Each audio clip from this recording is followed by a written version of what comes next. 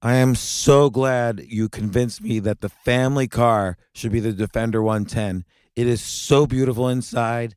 So comfortable and it just feels indestructible. Yes, it really is. I've been waiting a long time for the new model to come out. The Defender 110. I'm telling you, it's my favorite car of all times. It's my third one.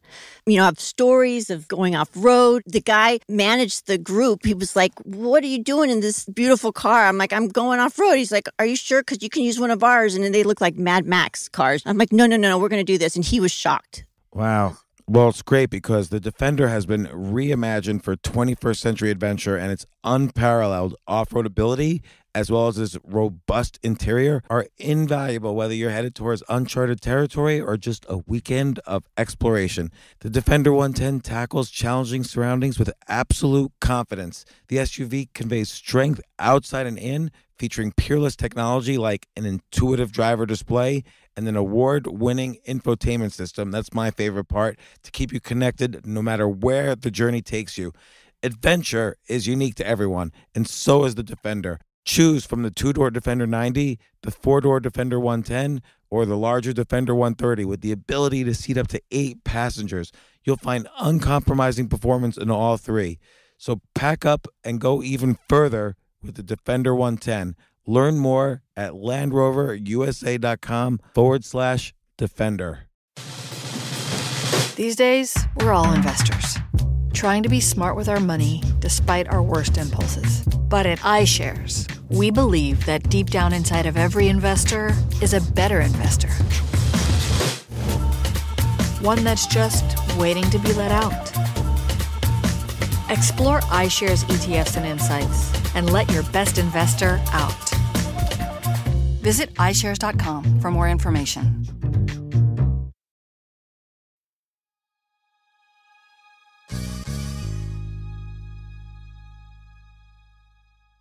To be the best in the world at something, I always knew it requires a lot of skill, some talent, a lot of hard work, but I never realized how much mindset is important and what is mindset and how do you get confident and how do you feel optimistic when sometimes it feels like there's nothing to be optimistic about? I never realized the critical role this played in peak performance no matter what it is you're trying to be good at. I've had a lot of chess coaches over the past 30 years and right now i've been working with one of the best coaches i've seen in any field ever He's one of the strongest players in the world, Grandmaster Avetik Grigoryan. He runs their site, chessmood.com, and his whole thing is right mood, right move.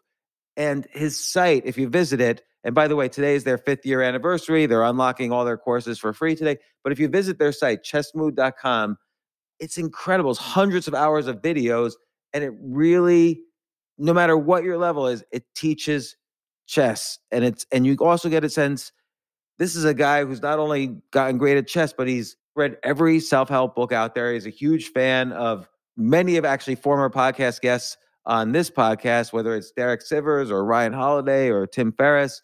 But uh, I was curious to hear his story. He was a poker champion, a chess champion, and now an extremely successful chess coach. What does it take to have peak performance? So here's Grandmaster Avetik Grigoryan on the fifth year anniversary of his coaching site, chessmood.com. And we have a great discussion about peak performance. This isn't your average business podcast, and he's not your average host. This is the James Altucher Show.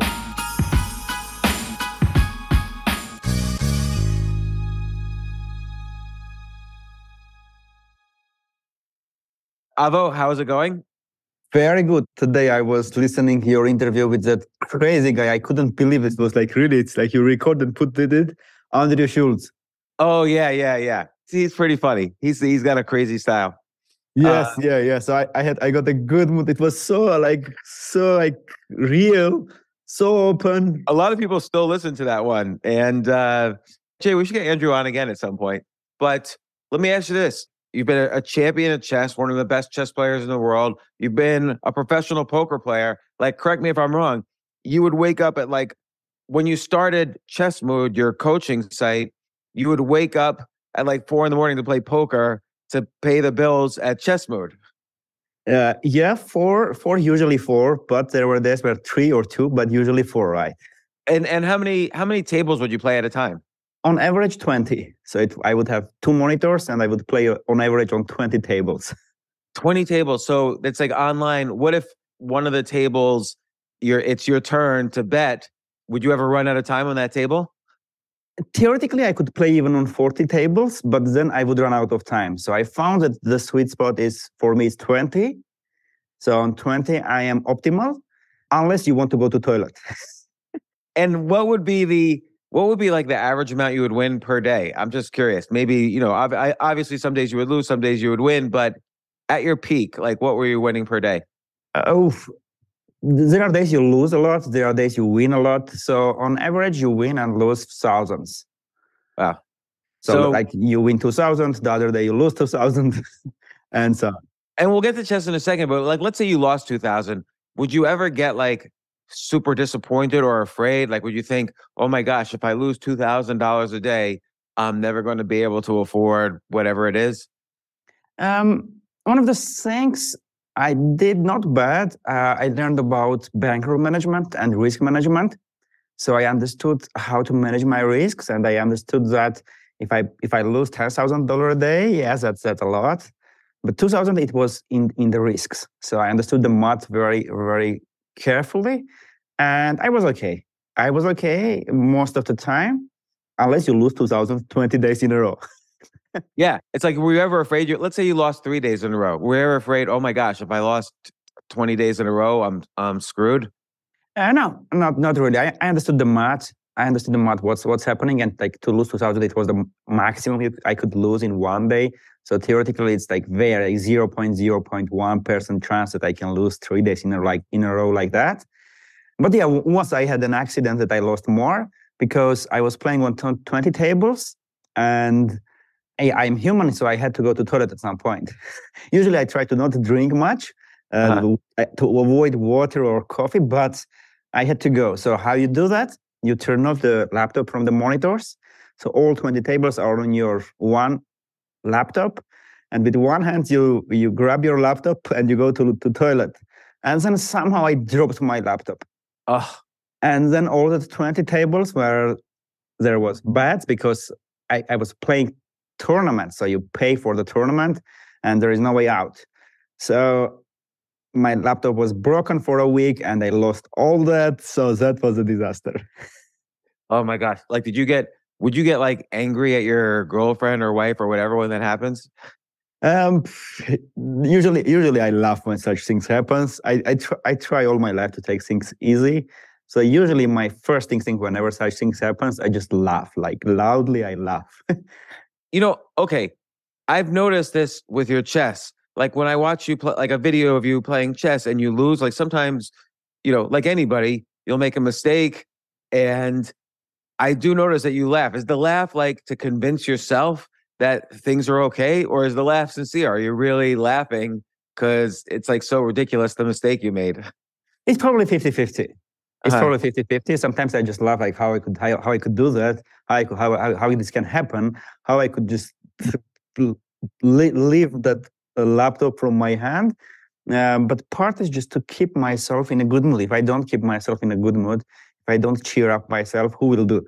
And I had this uh, this analogy in my mind. It's I'm always trying to imagine that they are my brain consists from 1 million small minions like that uh, cartoon huh. so this, this this these are my uh, soldiers these are these are my army but they are kids they are like babies they don't understand much. So i need to i need to make them happy. So if they are disappointed they don't come with me to the war. No matter i play poker i play chess i do whatever. So these little minions, I always need to make them happy. I need to explain why we want to do that, and they need to have fun. So if I don't entertain them, if I don't laugh, and they are disappointed and like, oh, I think we don't play with this, I lose them. And if I lose them, I lose everything. So with this, I am trying to cheer up me and my minions in my head.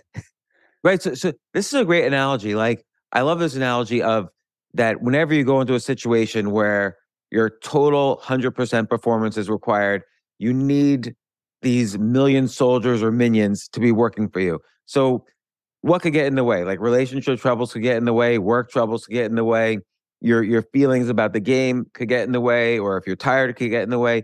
Like, what do you do to keep all these so like a let's say let's say you just had a fight with somebody like you're uh, you know someone listening to this that had a fight with their boss or their wife or husband or whatever. What do they what can they do to keep like the soldiers uh the minions you know happy? Well that, that's a that's a tough talk with a kid right? It's tough talk so usually i try to avoid such big conflicts and i usually i don't have. Most of the talks with the minions are coming uh, from from initial point when i'm going to start something. I'm like come on like today we have a discussion. Come on all minions listen me carefully and they're okay. Tell tell us. And i'm like we are starting poker career. And they're like what? So I need to explain them why do we start, why this all like, I'm like staying there and they are very carefully listening to me. And if I if my pitch is good, if my if I convince with my pitch them, they're like, yeah, let's play poker. Or let's guys, we are starting Chess Mood. If I explain why, like that's why that's that many like have that. If I if I explain why we do that, that's the most important for, part for me. Uh, and let, let, just just like you explain a kid, yeah, why why he should eat that that food because you will take them to the zoo at the end because you will have ice cream. Yeah, I'm talking with them. Like if it does that, if it, if it all goes well, this will happen. We are going to do that, that, that, and they are yeah, let's do that. Uh, and and the same way, if something goes badly and they are disappointed, just like imagine your kid is disappointed, how you talk to them, you explain them like it's okay, we are going to cover this um, later will be good, he'll take lessons. So it's tough talk. Mm. Usually, if one million are set, I'm not bringing immediately all of them. Maybe half of them I'm bringing. Another half maybe are crying. Another half are, are angry at me. But slowly, slowly, I'm trying to bring them back because this is my army. This is who will be with me all the time. And how long have you had this analogy? Like when you first started playing chess, did you have this analogy? No, I was unfortunately or fortunately, because unfortunately that if I, if I knew many things that I know now, my chess career would be in a different place. But maybe fortunately, because I left professional chess career and I don't mind at all, I'm happy where I am now. So no, I, I, learned most of the stuff between playing poker and becoming an entrepreneur and starting Chess Mood. And you know, when you first started playing chess, did you did you were, did people around you tell you you were talented? Like, how did you feel that first encouragement to feel like, okay, I'm really gonna go for this. And your your dad played chess, right? Yeah. So how how this this all started it because uh, in nine in 19s we had a war with our neighbor country, and my father is a doctor and he's a patriot, and he said I'm going to war, and he, he left. He, he, he went to the war for a for a few years, and that time our country was in economical crisis Imagine we had water and electricity for just uh, two hours a day. And my mother in the two hours should cook, clean, wash all the things. And so we were living with my mother, my grandmother, and my little sister. So I was four, my sister was two. Uh, and in order to somehow entertain me, my grandmother taught me to play chess. Uh, I don't know how did that happen. My grandmother was not good; she just knew the rules but I won her the first game. Um, and then I won her again, again, again, eh, to the point when it became not interesting to me. And then my grandmother taught me to play backgammon. Uh, so in backgammon, there are also luck and so on. So with backgammon, we played for years until my, my father came back from the war. And he saw that, oh, I, I play chess, I know the rules. And my father was a big fan of chess. He had lots of collections of the book. He, he is good. He's around master level. He never had a title, but he's about master level. He saw I'm playing chess. Uh, it was his love. So his son was taking his passion. And he took me to chess school. Uh, because it was from one, one point it was passion, and from another it was uh, when he came back, uh, the country situation was not good. Nobody had really works. They don't have jobs, so my father took me so he'll, he'll have more time to find job and to do things. So it took me to chess school, and from there my journey started. But the point where I people thought that I am talented. Probably it came that I won the first game I ever played against my grandmother who taught me to play chess. And that, you know, let me ask you though, like when you say your dad went to war for years, like did he did you not see him for years?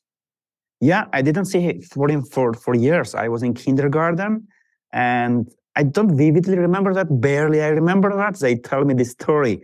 So I was in the kindergarten uh, and my fa- I'm already about six, and my father is coming back from the war with with huge beard, mm-hmm. huge, and coming and saying, "Okay, I came for uh for Ava," and the t- teacher came and said, "Okay, there, there there is your daddy came." I looked at him because I was I was told that if somebody comes and say I'm your dad, don't go. I look at him like, who is this? No, I said, no, no, no, he's not my dad. I didn't re- recognize my dad. Huh. He was with beard, and I didn't see him two years. He just came, he looked at me, into my eyes, yelled at me, and said, "Look into my eyes carefully. I'm your dad."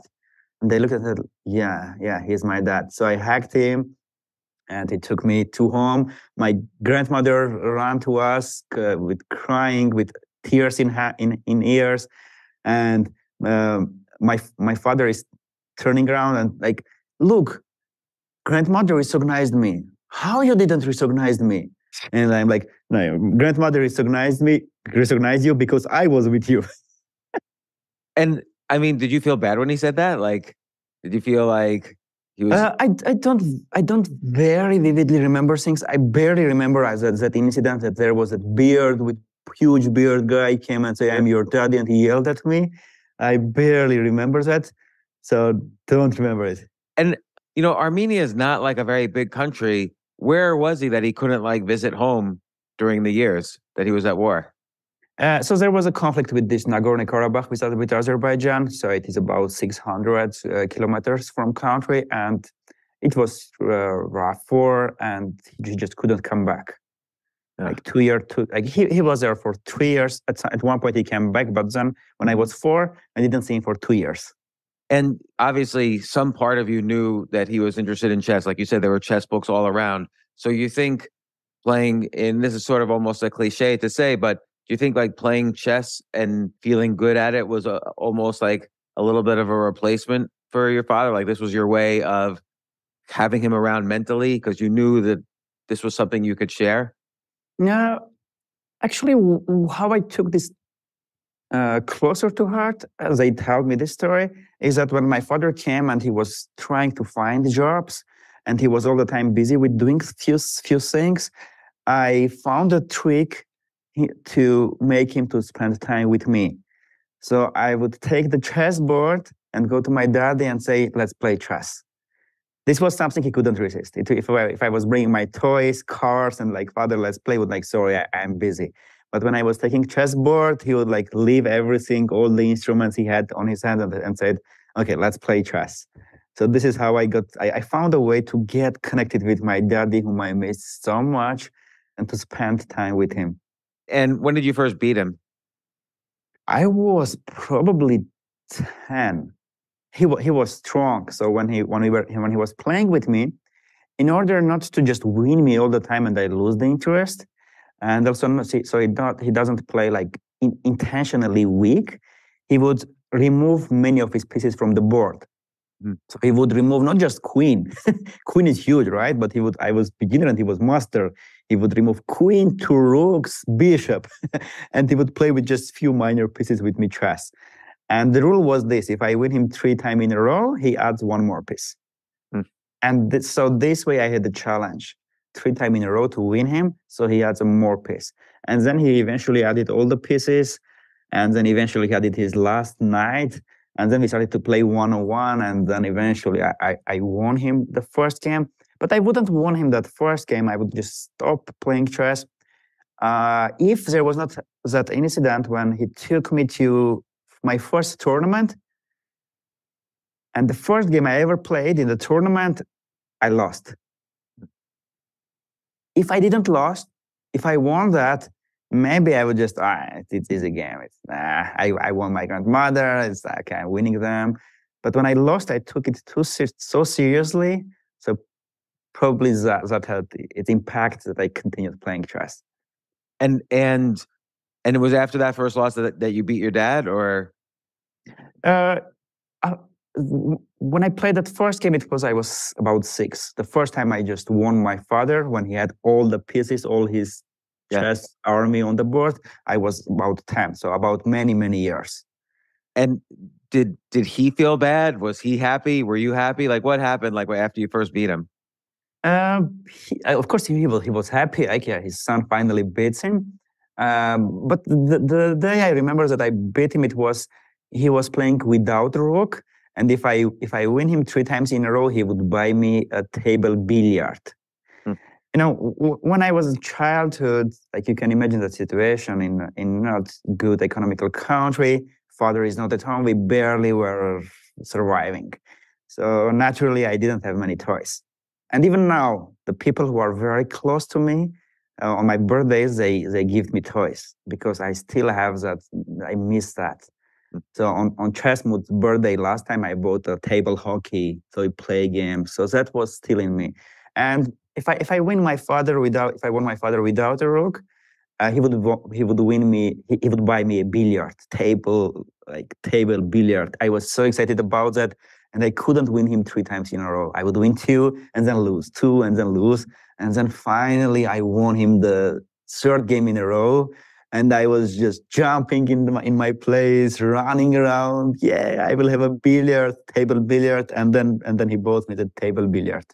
Did he? I mean, was it actually like a pool table, like like a big table in the house? Know, just small, small tables, like small that you can put put on the table and just play, like very small for for kids, not not, not nothing big.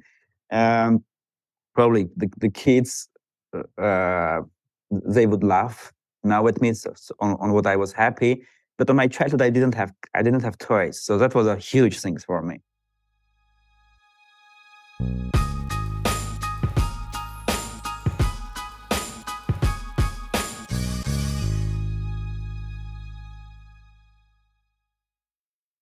Did you know several industries are heading for a hiring boom this spring, like e commerce and healthcare? Surprisingly, hospitality is one of the areas with the most growth. The hospitality industry needs to hire for service positions, managerial positions, and back office operations positions as well. If you need to hire qualified candidates ASAP for any of these industries or any other industry, you need ZipRecruiter. And right now you can try it for free at ziprecruiter.com slash James. ZipRecruiter uses its powerful matching technology to find the most qualified candidates for a wide range of roles. ZipRecruiter makes it easy to send promising candidates a personal invite so they're more likely to apply. Plus, ZipRecruiter offers attention grabbing labels like urgent, training provided, remote, and more that speak to job flexibility. I've talked to CEOs who have used ZipRecruiter, and the reality is, for some reason, it is hard. Like everyone says, oh, there's a recession. Not true. It is hard to find qualified candidates right now, and unemployment is at a 50 year low. So you need to use whatever you can to find qualified people to fill jobs. So let ZipRecruiter keep your team growing strong no matter what the industry. Four out of five employers who post on ZipRecruiter get a quality candidate within the first day. See for yourself. Go to this exclusive web address right now or after you finish listening to this podcast to try ZipRecruiter for free. That's for free. ZipRecruiter.com slash James. I'm the only James that they know. So again, that's ziprecruiter.com slash J A M E S, James. ZipRecruiter, the smartest way to hire.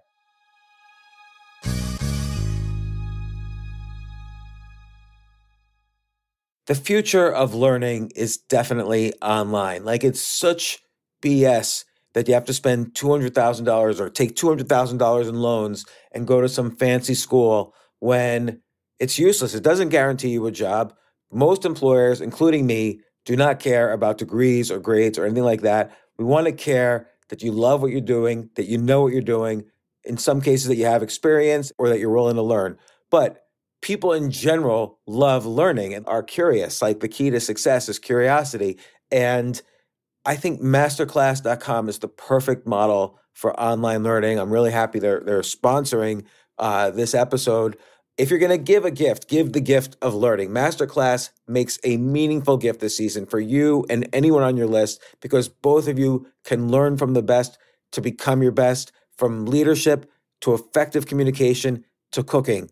Let me tell you some of the classes I've taken. I've taken comedy from Steve Martin. I mean, can you believe I can take a class from Steve Martin on comedy or Judd Apatow, my favorite comedy director? I could take an actual class from him on writing. Wolfgang Puck on cooking.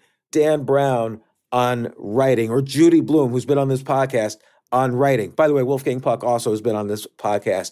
It's such a pleasure. I, I try to take classes all the time from masterclass.com. And whether you're watching Masterclass on TV or listening in audio mode in the app or on their site, the quality speaks for itself. It's like these masterclass instructors are your own personal mentors that are going to help you reach the next level. How much would it cost to take one on one classes on comedy from Steve Martin or on chess from Garry Kasparov? You just wouldn't be able to do it. But it would, I mean, it would cost hundreds of thousands of dollars. With a masterclass annual membership, it's $10 a month. Memberships start at $120 a year for unlimited access to one on one classes with all 180 plus masterclass instructors. So it's not just $120 for one instructor, you get all 180 plus masterclass instructors.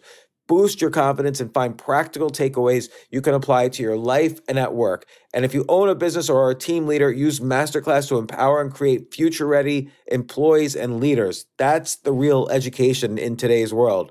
So, this holiday season, you can give one annual membership and get one free at masterclass.com slash JAS. JAS, of course, stands for the James Altucher Show. So right now you can get two memberships for the price of one at masterclass.com slash JAS. Masterclass.com slash JAS. Offer terms apply.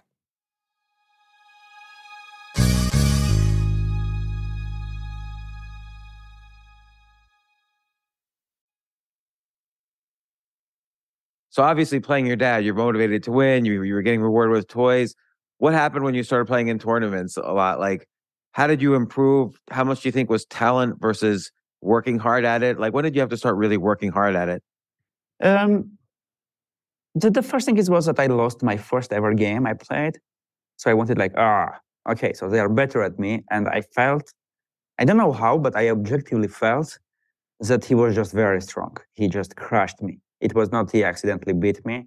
He would beat me 10-0 if he played more. Mm. So I felt, okay, there was a kid who was my age and he beat me. They are so strong. Okay, I'm going to beat them. And I started to train. And uh, then how it happened, I played Armenian Championship until 10, my first ever tournament uh, in Armenian Championship, and I and I got the third place. And I was like, okay, and I was this, so this close. This is for under 10 years old. Under 10 years old, yes. Yeah under 10 years old. They're like, okay, I was so close. Let's prepare, let's train, and next year I win this tournament. The next year I would be like second. And then, okay, next year I'm going to win this.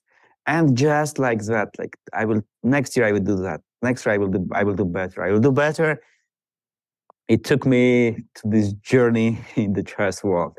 Just wanting more, just wanting to beat them. Um, so that took me until international master level. And you were you were about 18 years old when you got international master, and then a year later you were a grandmaster. Were you one of the yes. youngest grandmasters in Armenia? Uh, one of the youngest, and that time it was also one of the youngest in the world because that time 19 was 19 uh, grandmaster. It was really young. Now it's like if you are 19 years grandmaster, it's uh, young, okay, but that time it was good. So I met I made master at 18. At 19, I, I, I became a grandmaster. I, I had a strong why at the time. My sister wanted to continue my father's uh, path and become a doctor too. Uh, but to become a doctor in Armenia, it's quite expensive. And I somehow I realized that I, I, I can support my family if I become a grandmaster. So I had just one year to make that. And all my minions in my head was with me. Like just, you, you once told me, I mean, to get a grandmaster, you have to go out and beat other grandmasters, and you have to travel in in to international tournaments. And you told you you you once told me you you basically forced your mind like to have fighting spirit, so that the three times you left the country, you were able to get what's called grandmaster norms, which became which you you made. You know that's how you become a grandmaster. And this is what I don't understand. How do you tell yourself to have fighting spirit. And again, this applies to chess, poker, maybe business, investing, whatever. How do you? I can't seem to tell myself, okay, James, now's the time where you need fighting spirit. Yeah. So uh, how it happens that I I made GM in, in that three times in a row, beating grandmasters, kind of. Yeah. Usually, how power people do, they play about twelve tournaments when they are master level, and in three they perform very well and they make three GM norms. But I couldn't play twelve tournaments. Uh, I still couldn't afford that. I couldn't afford to travel all the time. So I had that that if I play a tournament, I have to win. That's my chance. I will not have the second chance. And when you tell the minions in your mind, there is no second chance. It's now. All the minions come with you. There are no minion who doesn't come with you. If they if they know that there is second chance, somebody will say, "Oh, let me lie there under this coconut tree next time." But when you say like minions, look carefully. My sister, our sister, is going to be a doctor, and we need to become a grandmaster. We are going to train every morning every evening we wake up early they're like yeah no problem boss and then when you go to the tournament guys listen me carefully we need to do our best here all the minions are with you so uh, ju- just that way i made the, the three norms uh, one i was lucky because one was in armenia it was a junior world championship so that one i didn't pay for travels i just played in, in my country and i and i and i made my first grandmaster norm for two other tournaments, I traveled. To the second tournament, I was lucky because I not only made the Grandmaster norm, but I won a prize. So with that prize, I could afford the third tournament. And in the third tournament, again, I didn't have second chance. If if if if I didn't make, I, I would need to to wait another one year to save money to go for a tournament. And then on the third tournament again, minions. This is our chance. We make this, we won, we win this, we make a grandmaster norm. Okay, one week you you take a rest. You drink all you want, you have fun all you want, but just this tournament, just 10 days, no other thoughts, nothing. Just we focus on winning this. After that, you do whatever you want. Every minion says, yes, let's do that. And they are with me and doing that. And do you think that, like, I'm just trying to think, like, how would, let's say, let's say you start the, the tournament and you lose the first game how would the fighting spirit like kick in? Like, how would you start to play better with the fear that, oh, maybe this tournament's not going to work out? Because now you have this fear that this might not work out. So, f- fighting spirit, maybe we can, we can we can refer to how many minions are there with you. Mm-hmm. Because if if you are if you are doing anything and not all the minions are with you, probably your you, we can say it like fighting spirit, but actually it's like part of your minions, part of your army are not with you. They didn't understand why they should fight. They didn't understand why, like they, they need to put all their efforts instead of just chilling there. So I would talk to them, explain them very, very detailed, like why we need to it, and then all would, would, would, would be with me. And if I lose the first game, it would be like, okay, we lost the first game. Why did this happen? Because that, that, that, that, that, that, that. Okay, we remove the previous moves, whatever happened, we don't have that past. We took all the all the lessons from the past. We focus on the next game. Why? Because we need to make a grandmaster norm. Right, minions? Everybody, yeah. and then we go to the game. Let, let's say let's say you're playing someone who is like definitely better than you. Like let's say they were much higher rated and they already they were already like you know super grandmaster would you be able to convince yourself like hey i have just as much possibility to beat this person as anybody like would would you know would you be able to do you know upset the better players uh, I always had had in my mind that everyone are humans, everyone are mistakable. Myself, I did ridiculous mistakes that when all the minions were like some were not with me, I would do ridiculous mistakes. So if ever, any of us are human, we can make mistakes. Nobody is perfect. So theoretically, there is a chance. What I can do, what I can do is this: uh, I can perform 20% of my capabilities, 50%, 49, and 80, or close to 100. So my goal would be okay, if my rating is 2400, it's not my actual level. It's the average of my best and when I am low. Hmm. So what if I hack this code? What if I hack and I always perform best? And this is how I would convince my minions like, guys, he's good. Okay, but what if we perform our best? If even he will celebrate it. They were like, wow, we, we, we beat that strong guy. If we lose, we will be okay if we perform our best. I would yell at them. I would just bring all the minions and just say and yell at them if I didn't perform my best, if I did stupid things the last night, if I didn't focus before the game or during the game, or I would go and uh, stare to a beautiful girl. I would yell all, at all these minions. But if we did, all, we all together, we did our best. Okay, somebody was better than us. Good, we took we took lesson. Good, there is there is a place where we can become better. It's funny about this staring at a beautiful woman. Like I was reading this one grandmaster, uh, Alexander Shabalov in the in the U.S., uh, formerly from Latvia he was saying in an interview that maybe up to 50% of his thoughts during a game are about women.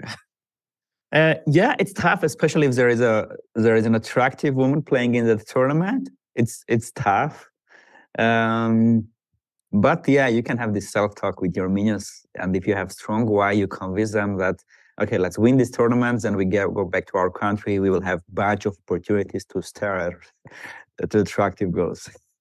And you know, so okay, so you so you're you you got international master at 19. Did you think, oh my gosh, I'm gonna be world champion? Like this is gonna be great. Like what what were your thoughts then professionally? Because like for for many, they when they achieve their goal, it's hard to sometimes find more motivation. Right. So most of the kids, if you talk to them who, who train chess, if you ask what's your goal, there will be one answer: become a world champion. Uh, and then often they get disappointed when the competition become becomes tough. Uh, with my father, uh, he was smart, and from my childhood, together with my father, we had another we had another goal.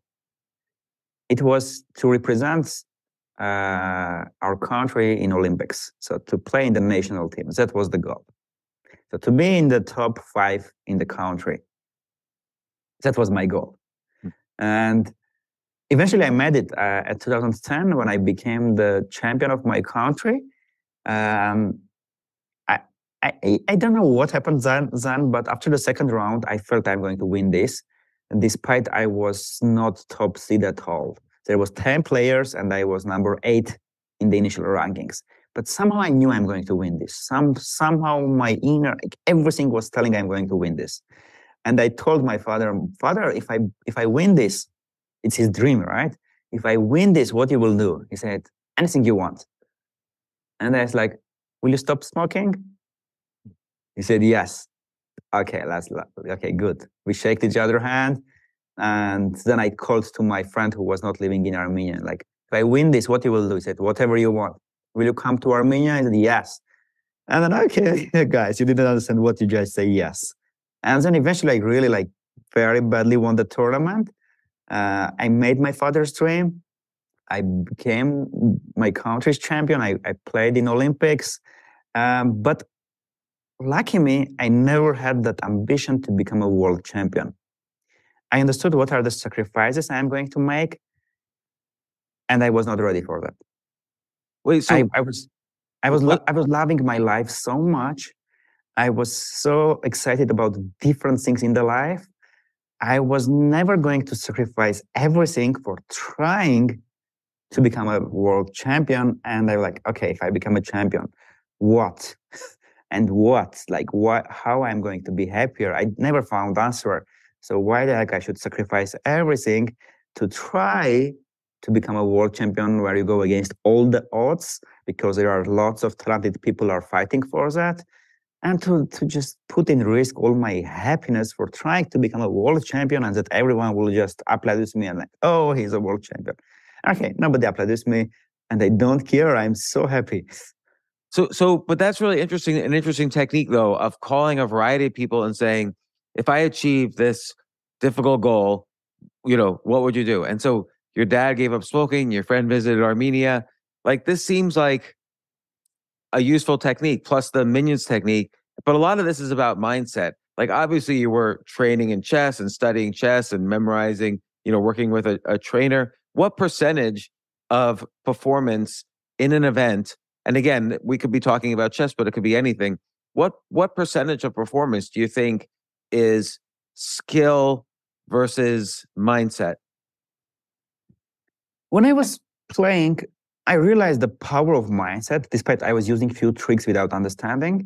When I was playing chess and I got to my peak, becoming close to top 100 in the world, I never realized what is the power of mindset. I never ever realized that.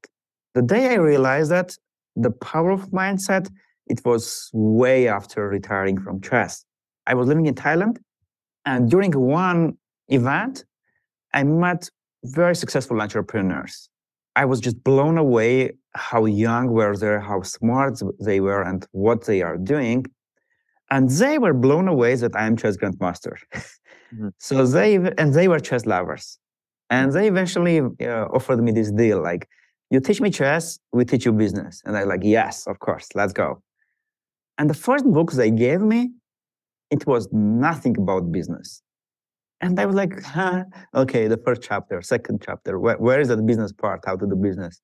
Fourth chapter, okay, no, this was not about business. And then second book, no, it's not about business as well. I just got so angry and I was, I went to them and like, where is my business book? Just tell me how to do this thing. What are you giving me to read?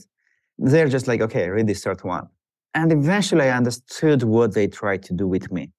There was lots of wrong beliefs in me there was lots of things that would stop on my way and they were just super smart advised me at first to start with mindset So they just crushed many bad beliefs in me because one of the beliefs i had it was like rich is bad unconsciously i had that thing because i was raised that way okay rich people just robin hood style yeah rich people are are stole something from the people they did something uh, not honest and so on so in my mind, there was this picture that rich people is not good. And it was in unconscious. I didn't understood this because myself, I wanted to become an entrepreneur, right? But they, they saw it. They were smart. They saw it. So they broke, they tried to broke everything. I was lucky that I understood and continued the journey of investing in learning about mindset. And after years, when I understood, I look back to my career, chess career, and I look to my tournaments. I'm like, wow, here I played this, this, this, so good, so good, so good, because I was in, I was in that mood. I was, this was happening in my life. This was happening. I was so much determined to do that, that, and I performed well. And then I would look to my worst tournament, and like, yeah, I was going to through, a tough period of my life.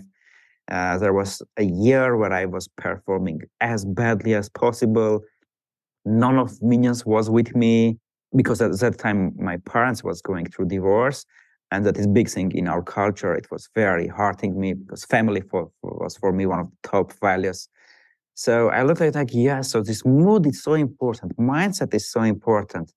And then I started to invest and invest in more about learning and mindset. And coming back to the question, uh, mindset versus skills versus skills. I think mindset is almost everything because with wrong mindset, you even don't study right. You don't understand your goals right. With wrong mindset, you do so many things wrongly. And with right mindset, you can accelerate, accelerate everything with 100x.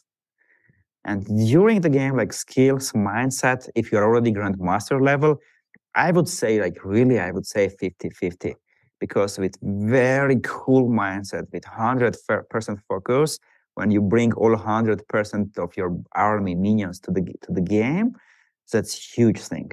Most of the people, they bring half of the minions to the game, maybe a little bit more than half. Imagine if they, if they double the strength, like two more army with you. You know, it's, it's interesting. Like what, what books did the businessman give you?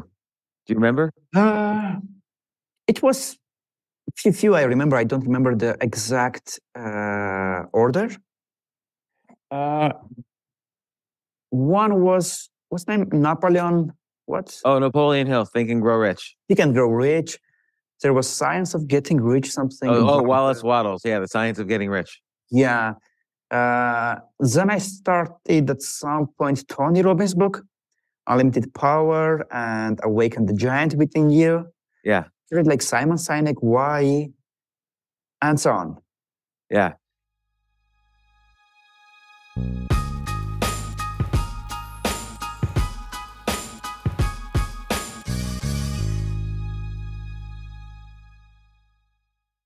Oh my gosh, I love these clothes. Mizzen and Main. That's M I Z Z E N and Main.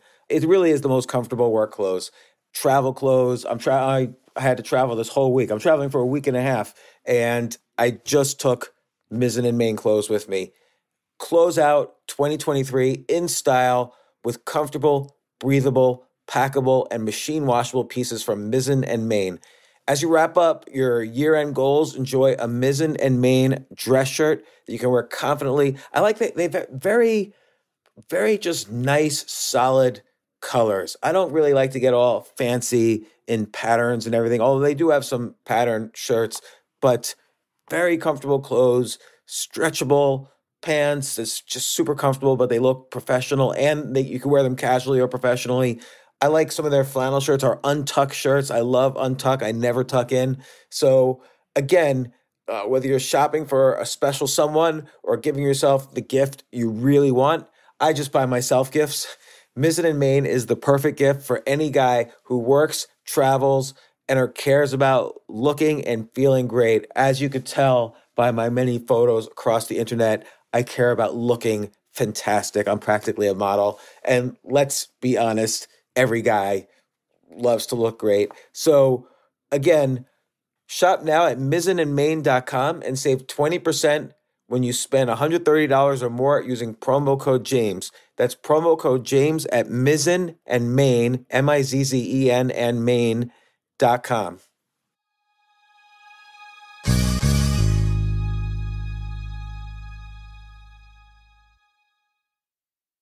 You know what I love about fantasy sports is that even though I'm not going to be a great basketball player or a baseball player or a football player or whatever, I feel like I get to participate and make decisions and use my knowledge of these different leagues to or these different sports to to compete. So it's like I can pick my team or I can pick my favorite players and I could use my knowledge to make predictions and maybe even make money so, with the basketball season here, you can now pick combo projections across football and basketball from the Specials League on Prize Picks. This is a league created specifically for combo projections that include two or more players from different sports or leagues. Want to play alongside some of Prize Picks' favorite players like rapper Meek Mill and comedian Andrew Schulz, who's also been a guest on this podcast, and I've been a guest on his? You can now find community plays under the promos tab of the app to view entries for some of the biggest names in the prize picks community each week. Look, prize picks even offers a reboot policy so that your entries stay in play even if one of your players gets injured. For football and basketball games, if you have a player who exits the game in the first half and does not return in the second, that player is rebooted. Prize Picks is the only daily fantasy sports platform with an injury insurance policy. What? So, I love playing it. I love anywhere where I can use analytical ability with my interests to demonstrate some skill and maybe make some money. And I like the game like aspect. I do wish they had chess as a category on prizepicks.com, but I'll settle for what they've got. Maybe I should make my own fantasy chess league. But in any case, I love prize picks. Go to prizepicks.com slash James. Use code James for a first deposit match up to $100. That's the easiest $100 you're ever going to make. So that's prizepicks.com slash James and use code James. Daily fantasy sports made easy.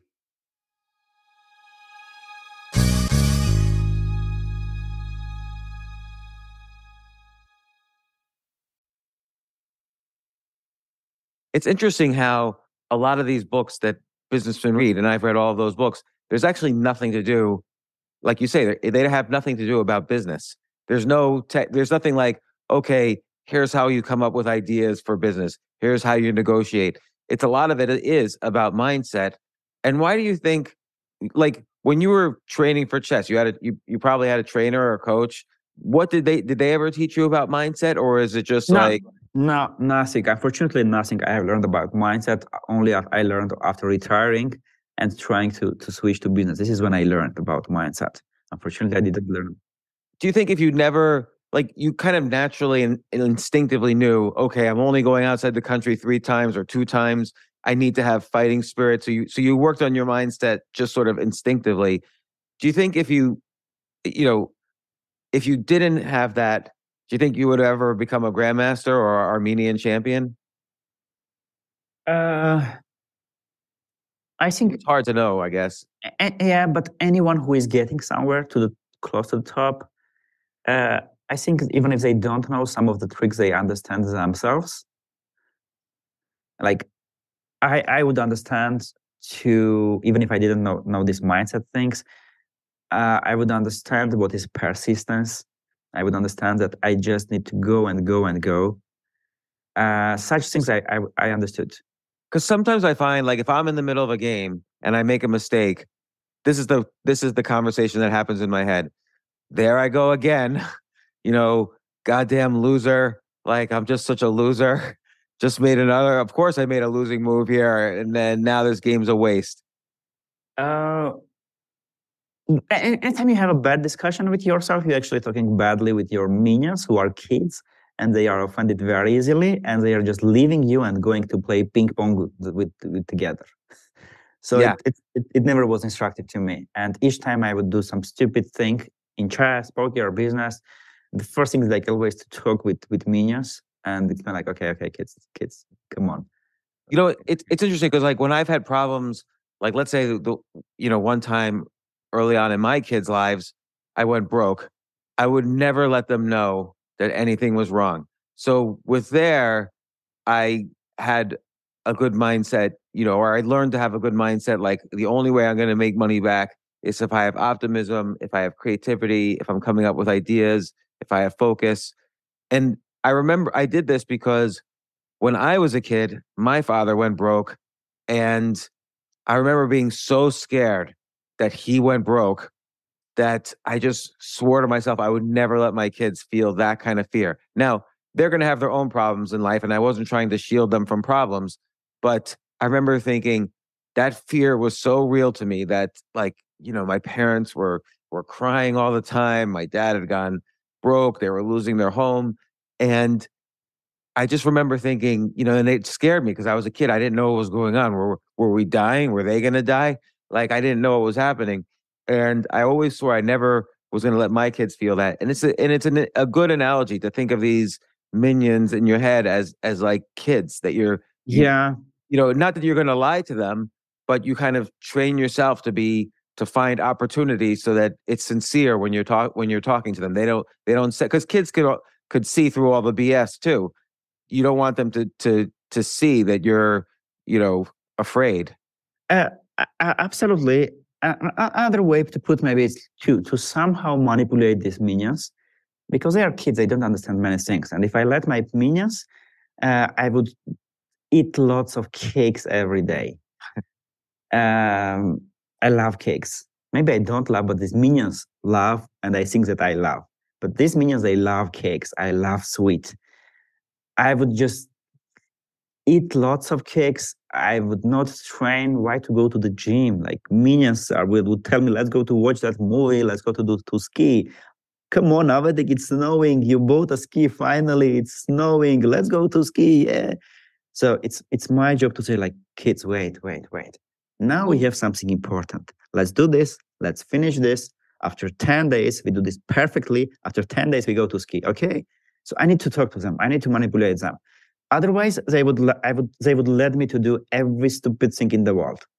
And it's not just the the rewards for the for the minions, but also then there's these external people like your father stopping smoking, your friend visiting Armenia. You would you, you, kind of that's another way to motivate, I guess, the minions is say, look, I want my father to start stop smoking. We all want my father to stop yeah, smoking. absolutely, absolutely, absolutely. like minions, this is your grandfather. It's my father. It's your grandfather. Do you want him to smoke? They're like, no, no, no. He smokes. it's bad. So, do you want him to smoke? Smoke? Yeah, yeah, yeah. So let's win the tournament. Yeah, so so it's interesting because whenever I, you know, I've had a lot of chess coaches and so on, and it is all about chess. But I've had a lot of business mentors, and it's very rarely been about business. Like when I have a, I have a business partner right now, has been my business partner for since 1999, so 24 years, and 95% of our conversations are about psychology. They're not Yeah. about numbers. They're not about oh, if we invest in this, well, you know, it, should we invest in this? Should we invest in that? It's all about like, okay, we have to have this conversation. This is what this person's like. We think about psychology. We pick each other up when things are down. Like, it's funny how in some areas you instinctively know, okay, I love this enough, and it's I'm passionate about this, so I'm going to to and and I realize there's consequences, so I'm going to have the right mindset. But somehow, with I have to learn it in other fields like chess, for instance, or poker. Uh, so it's it's you know, I'm just beginner in business, so I'm very careful for for for advising things. But if somebody ever asks me, give me give me the, the the first book to read about business. I want to start some startup, start something. My first book I give them is Ryan Holiday's Ego is the Enemy. Uh, yeah, it's interesting. I think I think it's the it's the first book anyone who wants to start business they should read because uh, many things we want to do maybe it's not us but our ego maybe it's traumas we had in childhood. Our ego is so hurted. We want to do things but we don't understand why. So until we don't figure it out that thing and if we don't figure it out we can do so many stupid mistakes in our lives because of our this ego thing that no matter what kind of books we read about marketing, sales, that, that, that, at some point we can just ruin all our career, all our business, because our ego wanted stupid thing. Yeah, or like um, shame, for instance. Like if you lose a game and everyone thought you were, oh, this is Avetik, he's the smartest person, whatever. But then you lose a game, you might feel shame. Did you go through a period like that when you were younger? Like, let's say when you're in your teens and moving up? Unfortunately, yes. Particularly with your know. father looking over your shoulder. No, unfortunately, unfortunately, yes. And I didn't realize that it was not me who was shame. It was my ego shame. So people are often afraid to play against lower, lower rated players because if you win, nobody says bravo. Oh wow, you win this. That's that's lower like weak player. Everyone like, of course you should win. But if you lose, they're like, oh, shame on you. So whenever there is like some happens, some bad thing to you, it's I found that it's not really you. It's just your ego who who who feels bad. It's this, this ego who always messes up with us. And just as Kobe Kobe Bryant said brilliantly, I was watching his uh, his podcast uh, in in the car, and he was asked how he deal with pressure and he said, there is no such thing as pressure. There is only ego. That's so that's so interesting. So so in chess you kind of understood this. And then you know later on, you know, perhaps during the, the poker years, you you left you you retired from professional chess and which I want to get to in a little bit, but you became a, a chess coach. And I've seen many chess coaches at work and they've all been good. I've learned from every chess coach that I've had. I've probably had too many chess coaches. You know, ever since I was 18, the second I started playing, I got a coach because I kind of knew to get good at something, you need a, a teacher and a, and a, coach. But you are by far the best chess coach I've seen, not just for me, but for so many people. Like you've you've oh, created you. so many grandmasters and and and you've taken people from. I've introduced people to your website. I had an experience yesterday. So you know, I have this as you know, I have this plus minus equals theory where you get a coach, um, you also exchange notes with your your equals, and you also find people to teach because that helps you understand something. Well, about a month ago, uh, I gifted a, a membership of chessmood.com to one of my one of my students. I have very few students, but one of my students, and he's literally his rating has gone from 550, which is absolute beginner, to over a thousand. So it's incredible. What, what, what is his written success story? I know. I'll, I'll, I'll get a testimonial for you because I, I just learned yesterday that he's because the last time I saw him, which was two weeks earlier, he was around 750. So he was moving up. And then yesterday I I meet him and he's like, guess what? I'm over a thousand. And so and he wow. was stuck at wow. five bro. And he's showing me the Dutch attack and the French attack from he's showing lines for me. Like, I don't, is that the scotch? I don't know. And he's like, yeah, this is the move here. He's like 10 moves in. He's like, knows all the moves. And, and he's asking me the mindset questions, like, how do you avoid anxiety? Like, these were questions I never asked my coaches until you know I met you, and because everyone just focused on chess, which is fine, but you do focus. Uh, like if people read your blog, you focus so much on like mindset and self help, and you've read, you know, Ryan Holiday, Derek Sivers, like all these people. So I actually I wrote to Ryan yesterday and told him you were coming on the podcast. I wanted to see Oh. if he, I wanted to see if he was around to see if he could come on, but he was he was in the middle of he does he does another podcast. But he wrote me a story. Um, let me see. Uh, oh yeah, he told uh, he, he said there's a story about Seneca, who's uh, a famous Stoic. Yeah. and Seneca was sentenced to death. On his last day, while he waited for the executioner, he was playing a chess-like game. Maybe it was chess. Uh, in his prison cell, he was playing with a friend. And when the executioner came, Seneca got up and um, he said to his friend, "Let it show that I was a piece ahead. That the last thing in my life is I was a piece ahead on you." And then and then he marched off to be killed. So he had no complaints, no tears. The last thing he said was about chess and that he was a piece ahead. Wow, And- that's, that's such, such, such, a strong, strong story, and I never found it in his book, in his books. Yeah, new new story from him. Wow. So it's interesting, like the relationship between playing these super competitive games and stoicism and mindset. Because I don't know why it is a game like chess as opposed to, I don't know, some other random game. I mean, poker's at this level too, but poker is more about money. Chess is somehow so competitive and so in the brain that you really feel it very deeply when you win or you lose, and it's and it's very painful when when you lose, and it's you know hopefully very happy when you win. And so it was interesting when I started reading your blog. So much of it is about mindset. Like you have the story of the guy in Armenia who was seated last place, but he was confident he was going to win. What was that story? Yeah, so that was a big lesson for me. Um, the, the the the year I won Ar- Armenian Championship, the next year, so I need to keep my title. We were sitting sitting in in in the room, all players, and there were like journalists, and they would ask us questions: Who would win this year? Like you know, this is not a good question. Who would win this year? You're ten or around about same level. Few are stronger, few are a little bit weaker, but about same level. So we would we we would give vague answers, Mm, like you know, a- anyone who plays good, he will win. Anyone who is lucky, probably he will win. Uh, depends. We will see. And then they asked this guy who was the last seed. So he was uh, objectively the time weakest in the tournament, and also with his rank ranking, with his rating system, he, he was the weakest. He was last seed.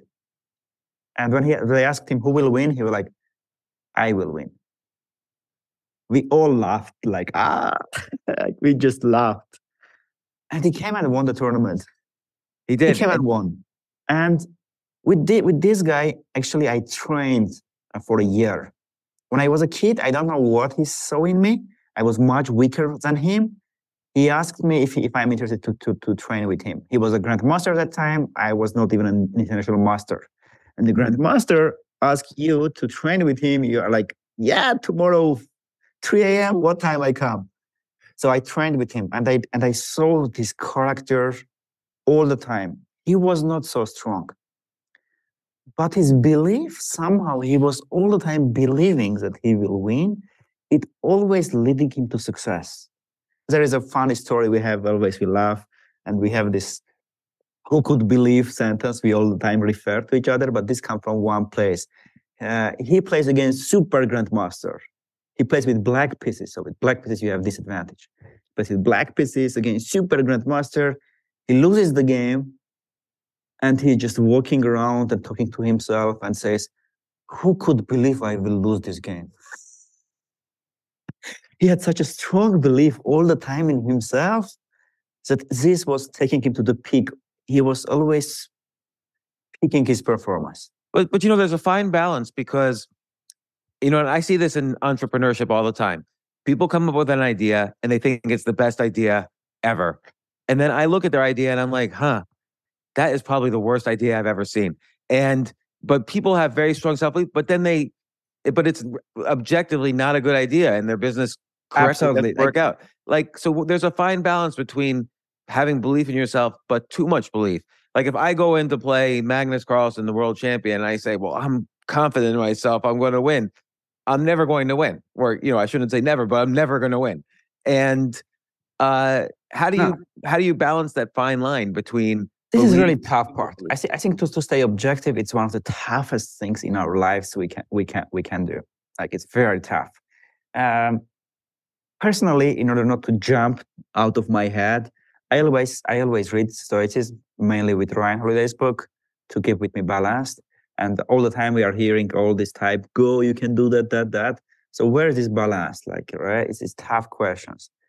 To stay objective, I have just one general good tip for myself.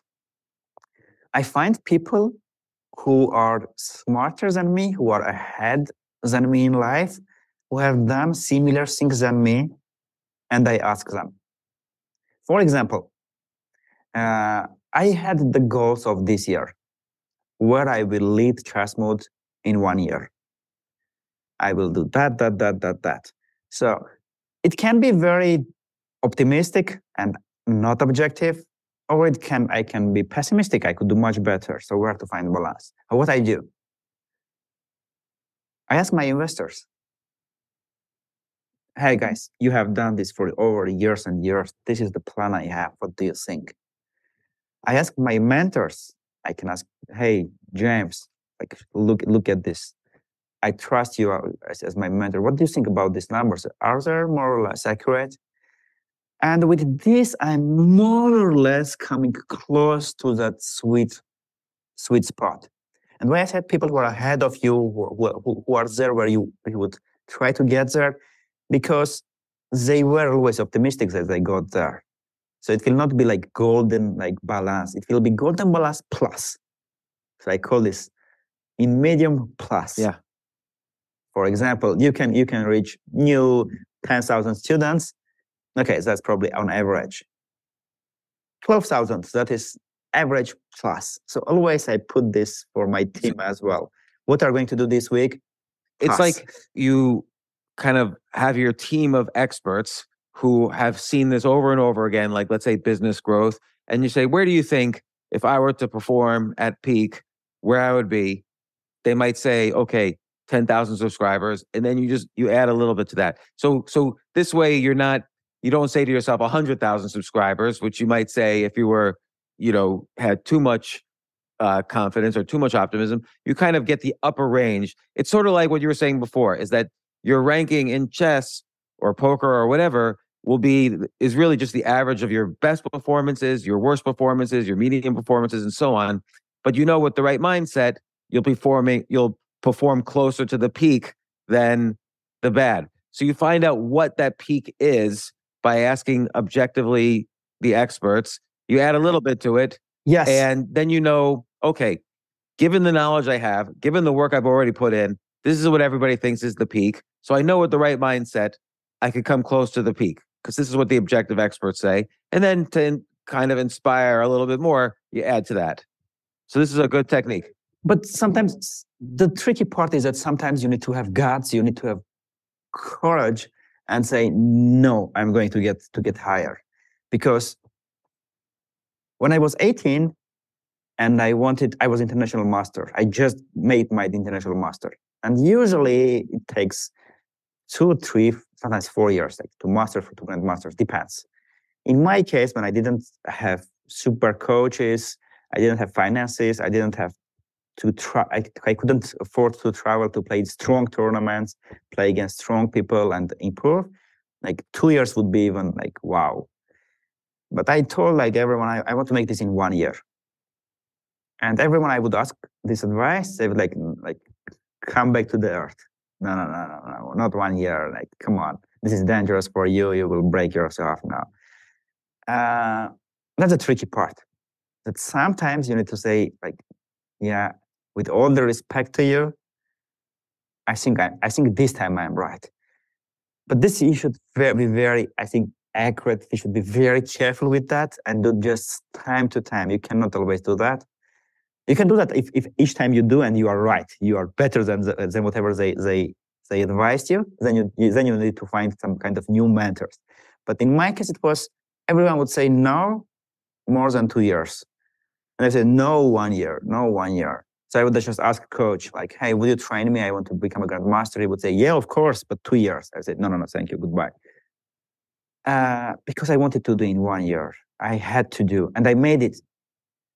And this is probably one of the things that it always stays with me. I always ask, ask, ask advice, but sometimes I come, I come, come back with my gut and like, no, I will do differently. What whatever they say, no matter how. But maybe maybe you saw many examples. And by the way, should we mention Armenia, which has like three million people, has something like hundred grandmasters, some like outrageous number of grandmasters, like more grandmasters than any other country practically, and you're smaller than the average city in the United States. Yes. And so so you saw a lot of examples of people going from one level to another level.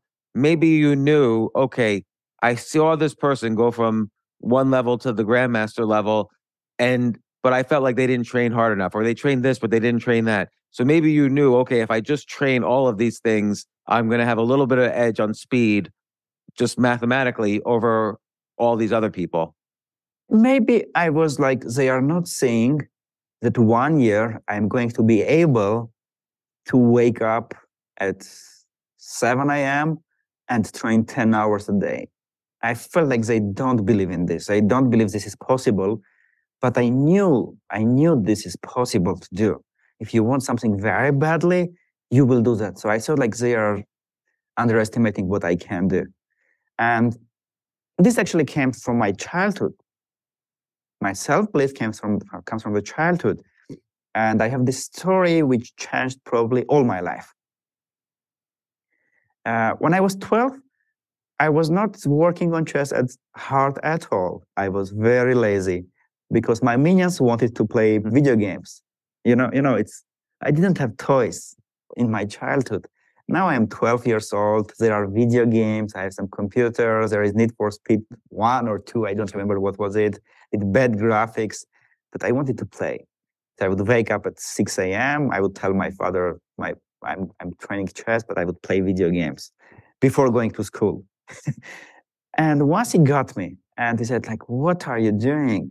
He was so angry at me. He said, no more chess. He punished me and I didn't play chess for one year. So when you are 12, on like peak, like you are training, to, the one year is big things there. I didn't play chess for one year. He just said, no more chess. I cried. I like, please, please forgive me that he did no chess, no more. He was very angry at me. I was bored and I went to, we had a martial art, some MMA group in our school. So I signed up there. Okay, I'm going to be there. I was very skinny, you know, like I wanted to be a little bit stronger. So I was like, okay, let's go to MMA. And my coach asked me this question. like went there, like, why did you come? And I said, you know, just just become better. I don't have ambitions to become world champion, just to become stronger. He didn't want such students. He wanted champions who will do marketing for him. And he did, he wanted to get rid of me and said, okay, hmm, let's, let's see what you can do, how you can fight. I was 12 and he put me in front of a 15 years old kid was training already a few years there. And I have never beaten in my life like that. I couldn't stay on my legs for a few seconds. They would bam, bam, and like I was on the floor. I would wake up.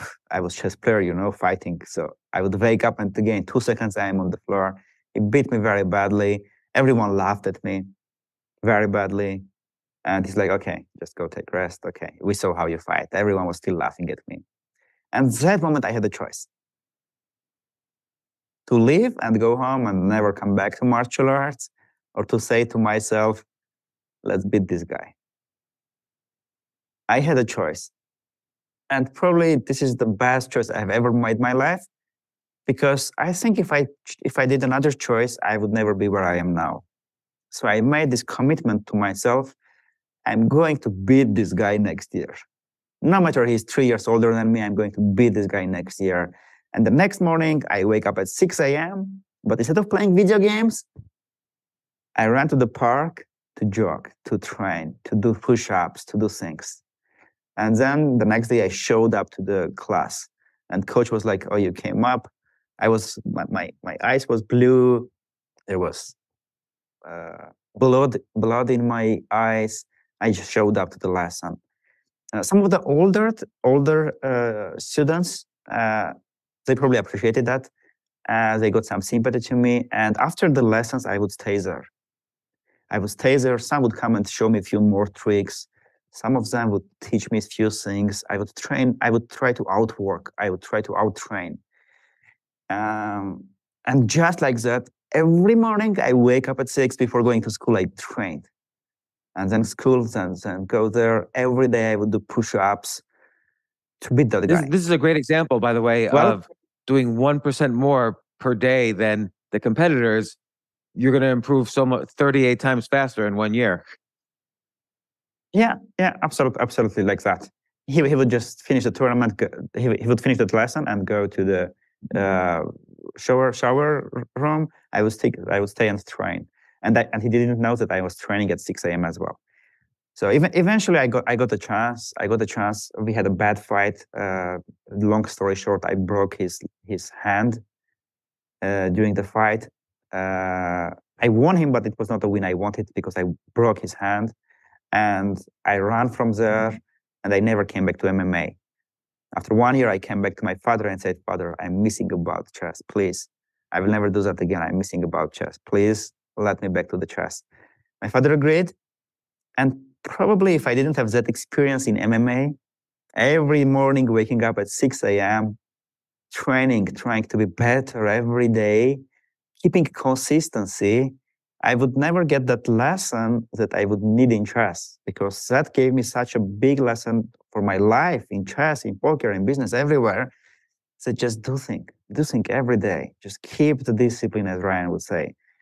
Keep going, become better. One day you will Again, we're, we're quoting Ryan a lot, but his stuff's great. You finally got to this point where you showed respect for chess as opposed to playing video games when you were, uh, uh, you know, should have been studying. You knew that you needed to show respect for the game in order to improve and more respect than the other people, your competitors, were showing. But No, let me ask you this absolutely. though: uh, everybody says, "Oh, it's about the process, not the goal." But you would set for yourself goals. I'm going to become a grandmaster. I'm going to beat this kid in chess. I'm going to make money at poker. You would set goals, and of course, respect the process. So, you know, what do you? It seems like it, goal setting is very important. Yeah, I, I, put goals so my minions know where we are going. Otherwise, like, okay, we train every day where, where we are going. I cannot explain the minions like uh, believe in process, uh, just keep going, focus on growth. They are kids. Minions are kids, so they need to have goal. And when they know, okay, we are going to beat that guy because he beat us very badly, yeah, they are waking up with me every day at 6 a.m. So for me, goals are mainly to explain with these kids, these minions in my head, where we are going. So they are every day show up with me at 6 a.m. Uh, or 5 a.m. whenever I wake up. This this is where I where I need goals. But uh, because I'm a bit smarter than the kids, I'm trying to focus on the growth. And every day, this is this is one thing I have. Every day to do best I can do. Just the best, absolutely my best. This is where I'm focusing. I'm not focusing on the goals, on numbers, or anything. Just the best, absolutely every best I can do. And it comes not just like whatever, like business, chess, or what's that, in relationship. I'm going to have, I'm going to meet my friend. I'm going to do my best to bring with all my best energy. I'm going to, to meet my family, to my father, my mother, my sister. I'm taking my love from my heart and I'm going to put it there. I'm going to train. I'm going to go to gym. I'm going to do my best. I'm always like during the gym. I always take. I always keep my in my brain Kobe Bryant words, whose teacher said that take rest at the end, not in the middle. So during the gym, I'm like, okay, my best is do this. It's like my my, my minions are like, we are tired. And like, no, no, no, no. 50 seconds we took rest. Let's go to the next rap. And we do that. So whatever I do, this is one thing I have. I always do my best and I satisfy my minions with like, this is the goal we have, this is where we are going. So I keep them excited and I know that the the winning way is to focus on process. And so when you switched from chess to poker, first off, obviously a lot of chess players get attracted to poker because sometimes it's hard to make money at chess, but poker they see a game and they love chess players love games. They see a game where you can make a lot of money. And so what what did you bring from you with you from the chess experience um, into the poker world? Uh, well, probably the work ethic first. I, I understood that first, partly, I, I wanted to play poker because I love that game. And second, I understood that people are not understanding that it's very complex Yeah. game. They think it's luck, but it's not luck. Most of the people don't understand that. So there are lots of opportunities going to be there. Uh, and the first thing I brought with me it was a work ethic. So w- when I retired from chess, I had some savings, and with that savings, I could live one year. And in one year, I, I had to beat in poker game. One year is not is not as long as it seems. So I brought that work ethic with me, with every day waking up and training. I brought with me some knowledge with me because during the during chess career, I understood that you need to have good guidance. It can be a coach, it can be a book, whatever there is. There are mass of information. There is chaos of information. First thing you do, don't jump to the first book you see. Don't jump to the first coach you see. Do the research carefully and pick the best you can. This is going to be very important for you because the direction you, you will take, it will take with you for a year. So spend at least some time to do to, to research and figure out your, your direction. So I did my research, I found my books, I found some courses, I found some people whom I would follow. I would keep going. Already that time I had from the from chess my improvement uh, method, which I use in everywhere. Uh, study, practice, fix. So you study, you practice, because with practice you really learn what you have studied and you fix the mistakes. Otherwise, you will repeat it again. And then you do it over and over again. Study, practice, fix, study, practice, fix. So I would do that in poker. Study, practice, fix, study, practice, fix. I had, you know, at, at one point in my room that was there was all printed some uh, poker things. I would uh, print and stick to my walls some things to remember, some calculations, some some graphs, some charts. All my room was poker. And every day I was in poker, like one year. And eventually, at, at one point, my, my parents were against this poker. And it's very understandable, you know. Their son is grandmaster, their son is Armenian champion. They are so proud of him uh, amongst their friends, among our relatives. Their, their son is grandmaster, you know, it's proud, yeah. And now he skips chess. He, he stops playing chess. Oh, what? He grandmaster and he stops chess? What? And what he's going to do? He will play poker, like this is the Gambler. best He's, probably they wanted to gambling and drinking. Gambler, yeah. Especially in Armenia, especially in Armenia. If you say it to other countries, like, oh, you're a poker player, oh, you are smart. In our country, it was like, oh, you're a gambler, you're going to play in casinos. Like, what is that? So from chess grandmaster switching to poker, it was very bad. So each time I would play poker and my my parents would come, I would just minimize my my PokerStars and I would lose money until they leave the room. And at one point, I figured out, okay, I can win already. It's time I can win, but something I'm missing, and I'm missing that I can just sit, nobody distracts me, nobody enter to my room, and I can do that. And I put myself in a bad situation. I went and I rented the place. I, the first time ever, it was my dream to live alone at some point, to have a jacuzzi where at, at the end of the day, I just lay there, I drink Armenian brandy that Churchill loved so much, or uh, or homemade wine, and in jacuzzi, proud of myself. So I finally rented rented my place, but there was a trick. I had just one month payment, and in poker, it's not like okay, you have standard like usually your salary you are going to you are going to pay it anyway. You are playing poker. You can win, you can lose, there can be bad month, good month but there was a pressure. There was a pressure on me. I have just one month, and if I do it well, dear Armenians, we are going to get our dream. You remember you wanted to be in jacuzzi every night at the end of the day, drink something and relaxing alone. Minions, yeah. So listen me carefully, minions. This month is going to be the most important month. There is no time to tilting when we play. And there is no time to thinking about other things. There is no time with dating your beautiful girls. No, nothing. No. We are going to eat cakes. No. We are going to have to do our absolute best. We need to perform our best. Okay. Then you will have your jacuzzi and everything. They're like, yeah. And I won very big that month.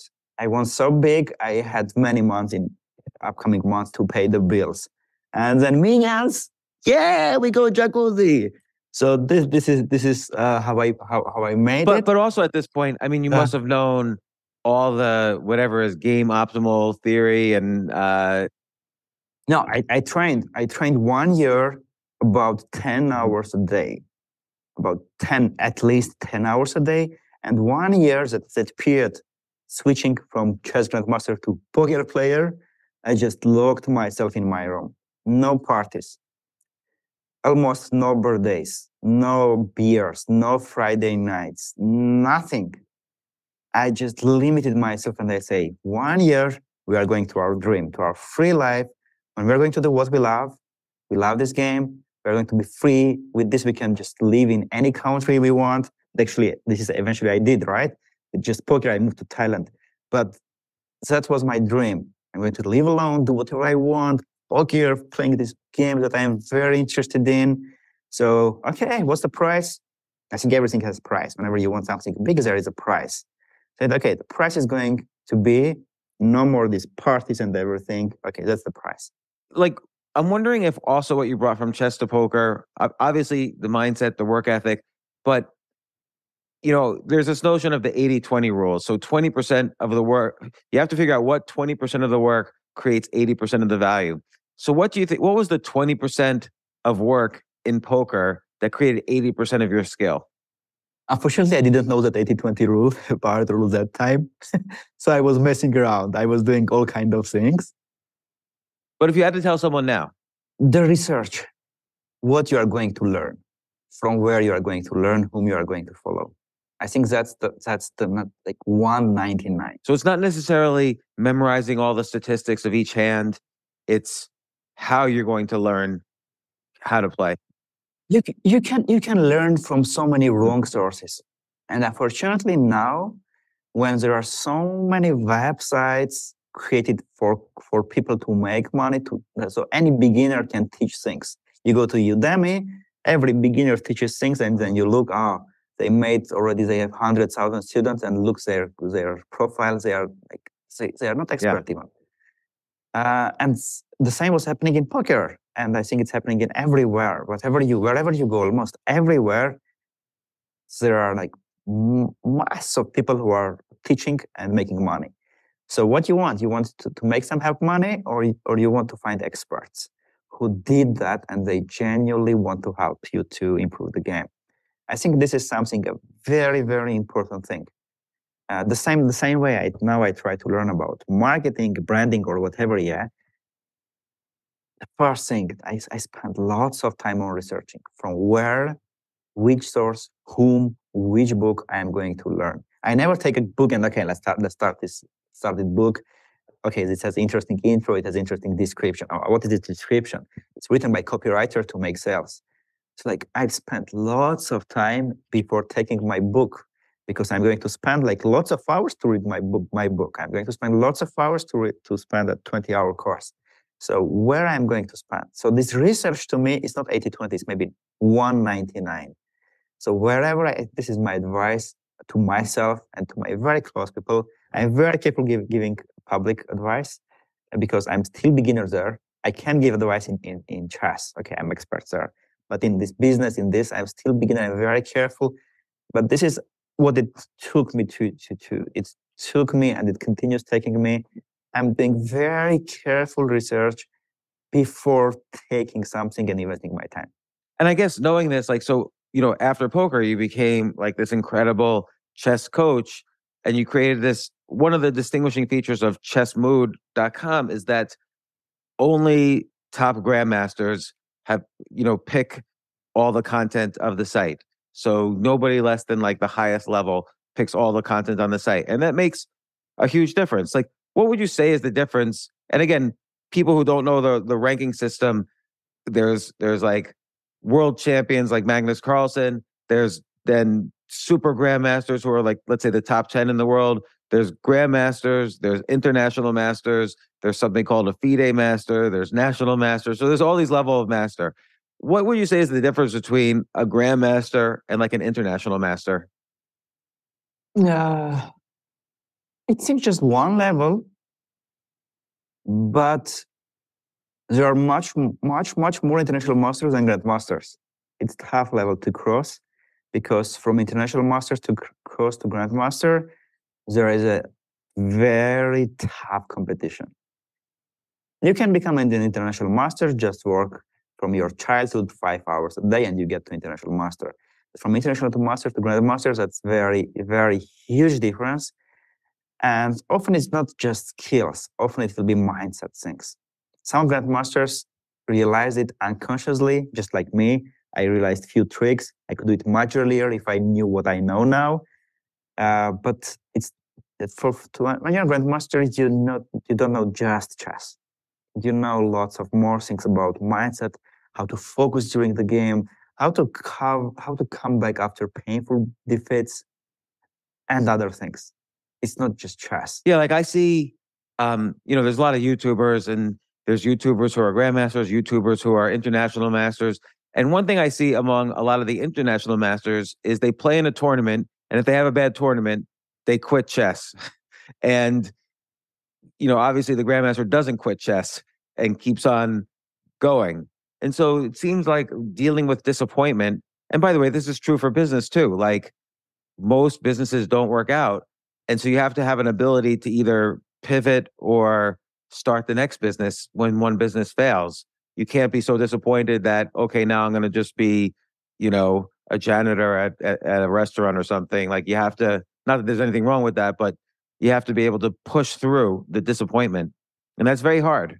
I was, I was training, I was practicing Kung Fu at one point, And we had these grade levels one level, two level, three level, and until six. Six is like grandmaster, super grandmaster. And there was something interesting. You get to first level in two months, you get to the second level in, in another two months. So in four months, you get to the second level. But from second level to the third level, you go in about two years. Hmm. And many would just drop from two to three, many. So I asked my coach, why did you make this way? And he said, look, this is a wall that will separate people who wants it and really wants it.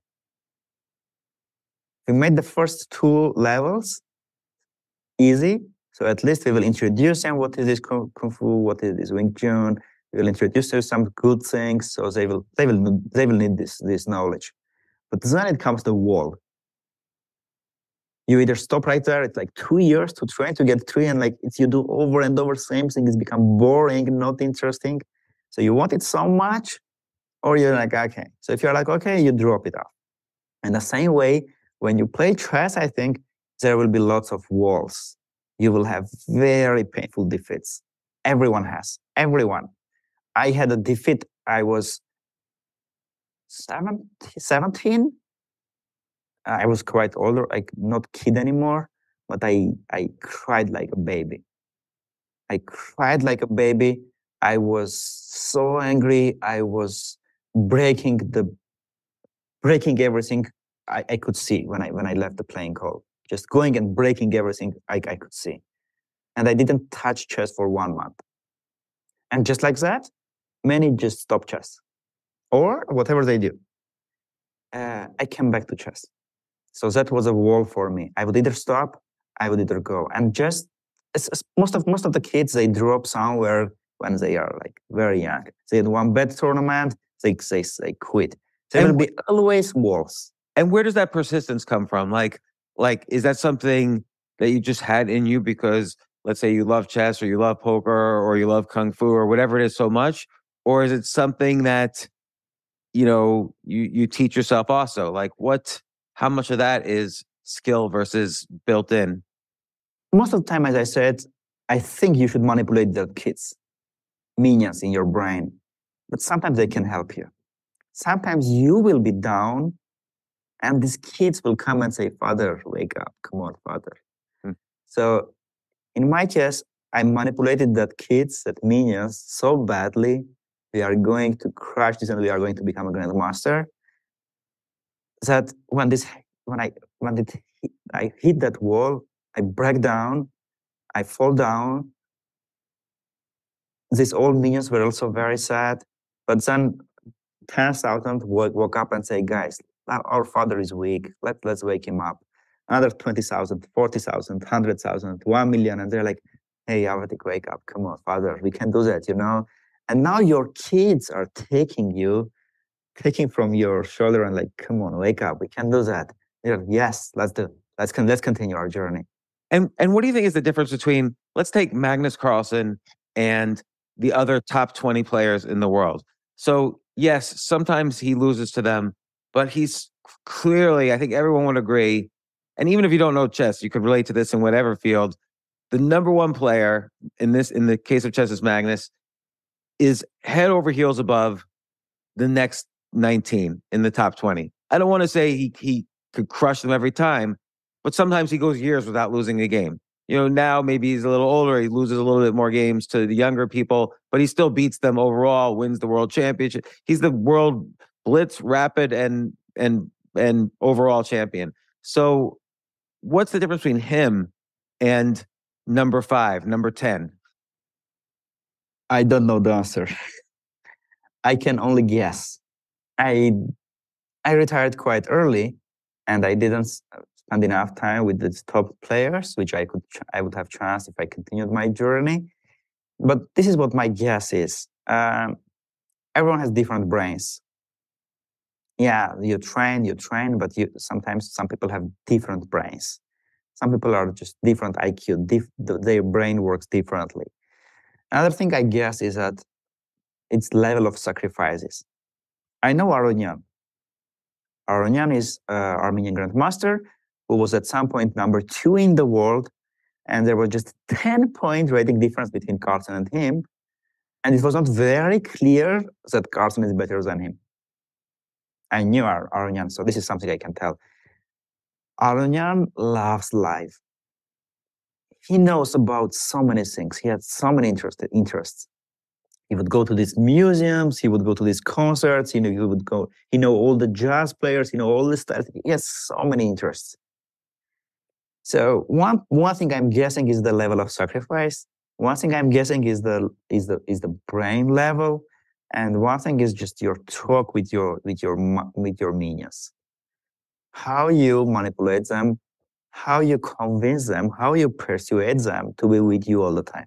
I mean, that's at, at the highest, highest level. So where does talent take you? So obviously Aronian, um, who was number two in the world, but yet he was able to enjoy many other areas of life, obviously had enormous talent um, to be able to get to that level and not make perhaps as many sacrifices do you think talent always forces a player to have a plateau?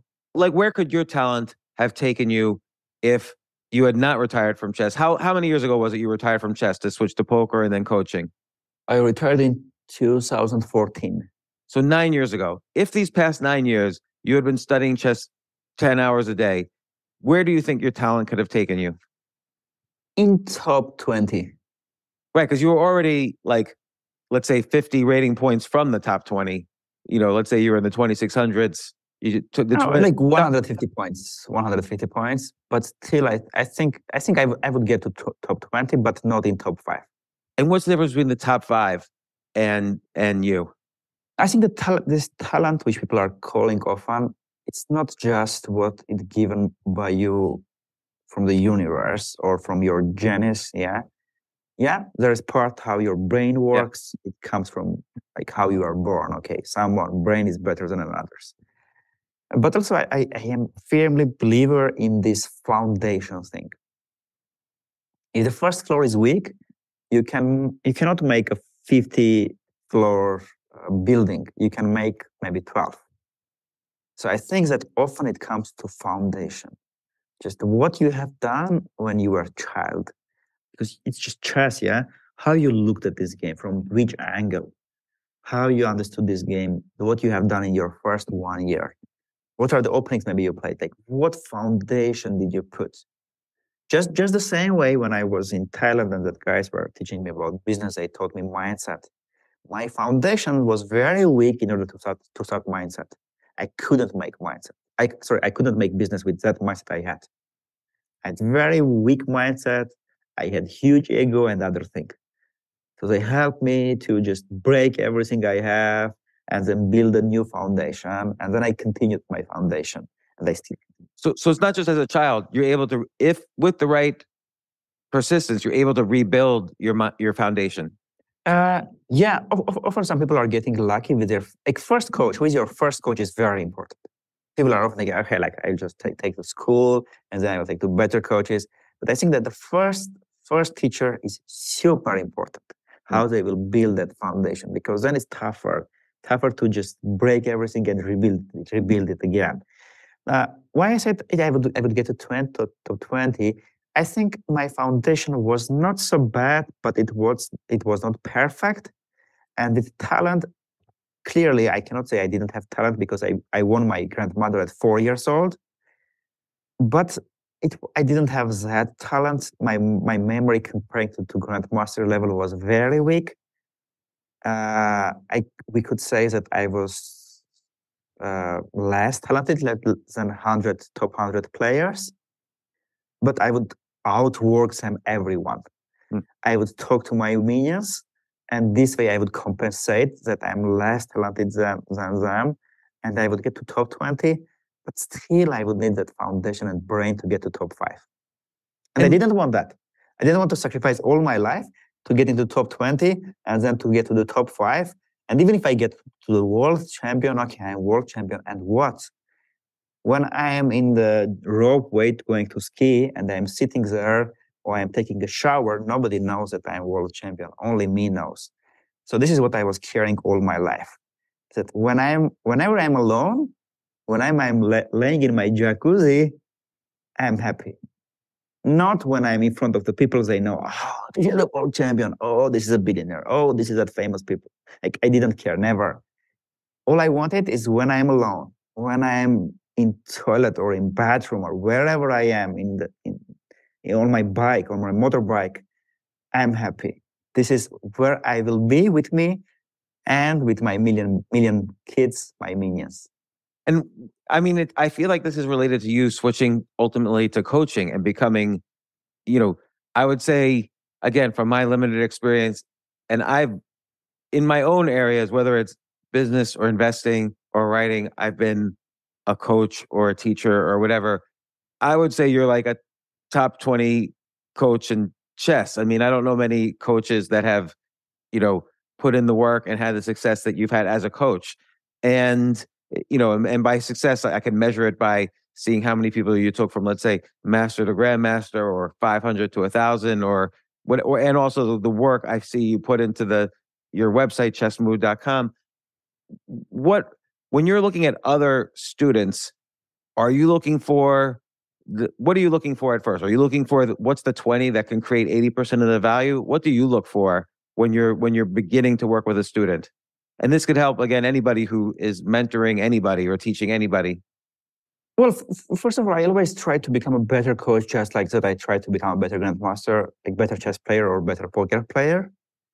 Uh, just the same way I did with my my chess coaching. I understood that there there should be work, and that work was nobody see, nobody saw. I would now train my some students to become better at calculation, but they never saw my hours and hours of research or finding examples and the same way, my hours of hours when I read books or I spend with my high performance coaches to learning things that I will teach to my students. So this is something I always spend. And if I if I had this ego, maybe I would say, no, no, no, no wait, wait, wait, James, I'm I'm not top, in top 20, I'm top one. But uh, Ryan helped me. Ryan helped me. You see that book there? Yeah. He helped me. And one of my my uh, goals of this year, my, my my to-do in my to-do list is to travel the world and meet the people who I think is better coaches than me and I can learn from them to become a better coach. So this is something that, that's why I say like always, ego is the enemy is the first book I, I recommend everyone who, go, who want to go somewhere. And coming back to your question, uh, what I'm looking for for my students is to make them happier people through chess. I don't want to make them become a miserable grandmaster. And do, do you know a lot of miserable grandmasters? Yes, very unfortunately. I remember I was living, uh, I was sharing the room uh, during one of the tournaments with a grandmaster who was in the top 50. And he lost the game. And he came back very angry on himself. And I was like, come on, it's just one game. Why you are so angry? Let's go to drink something. Like, no, no, you don't understand. Like, what I don't understand? Like, look, I live in Paris. I have that apartment. I need to pay that bills. Da, da, da, da, da, da, da. And he showed me that he has prepared 12 tournaments to play that year, and many of them not just to become better, but just to win some money, so to cover the salaries and so on. So it's not my guess. Unfortunately, many, many top players they hate their life, but they can't find that courage to leave everything, to stop everything, and start something from absolutely scratch. This is not easy. I haven't read yet Ryan Holiday's Courage book. I'm going to read it. Maybe it will help them. But it, it's not easy. The same way I remember it was 2014. I was in Indonesia. I was a grandmaster. I was playing. I was starting to hate my life already. Everything I had in my life, I, I was not. I was not happy. The, my chess life it was stopped. I, my, my parents was going through divorce. I was not happy. I was playing badly. I was not happy with the relations i had with my girlfriend. I had friends but i felt like they are taking lots of advantages and they are sometimes envy on things. I hated many things. And that day i lost to a woman grandmaster from germany very badly he, she wanted me like a kid I came back to the room very miserable and I said, I'm going to change all my life. Absolutely everything from one to 100, everything I will change. I stopped playing chess. I came and broke with my girlfriend. I called to some of that. I don't want to call them friends. And I said, no more. Don't call me again. You're not friends. You did that, that, that. No, you're not friends. I changed all my life and I switched to poker. That's a, it was a risky decision. It was tough decision. You are grandmaster. You are champion of your country. You know, uh, that time there was kindness in our police system. So when I was driving and and police would stop me, it's small country, you know, and they're like, and that's a chess country. They're like, oh, you're, I know you somewhere. Like, yeah, yeah, I'm chess grandmaster, and like, oh, you know, you know, yes, you did that mistake when you were driving and like, yeah, yeah, yeah, sorry, officer. Like, of course, go. So I had lots of privileges there when I was Grand grandmaster, chess grandmaster in Armenia. And I broke everything. No more, no more comeback. I I took fire and and and fired all the bridges to start something new. This is not easy. This is really tough. And I don't say that, ah, oh, this grandmaster should also do that. Whoever feels miserable, they should do that. No, I don't say that. But unfortunately, that's true that many grandmasters, they are chess grandmasters, they are in the top hundreds in the world, but they are not happy. So what I try to do with my students through chess, I try to make them happy, happy people first. And if at some point they realize that they don't want chess, I'm like, very good. What you like more? Oh, you like piano? Okay, go there. I, I told to some of my students like, okay, you need to you need to you need to retire from this. This is not what you do, what you want. And they figured out like really they wanted something else, and they and they switched to that. I felt a winner. I don't have that ego. I could make them champions and like, yeah, I'm the best coach. To that. I don't try to do that with my students, and I don't try to do that with our Chessmood students. So the part we have at blogs, I never write articles where people are what people are looking for Google. Of course, I have my SEO, people who would look for keywords, and this is what people are looking for. But my approach is always making people happy first, uh, trying to win themselves first, and then okay, if really you want chess, this is this is what the way looks like to the growth. And what do you think makes people? I mean, one thing that makes people happy, I think, when they learn anything, is understanding more and more nuances of this activity that they love, whether it's chess or martial arts or business or whatever. And um, and I think a lot of people don't understand the difference between like understanding something and the pleasure of deeply understanding something. There, there's like a difference. And you were telling me once about this experience in in poker that you had where you first got on a, a poker coach and this was like a revelation to you what what he explained to you uh, right right. So that, that was a big thing for me. I thought i'm very good at, at poker. I was already beating the game very very nicely.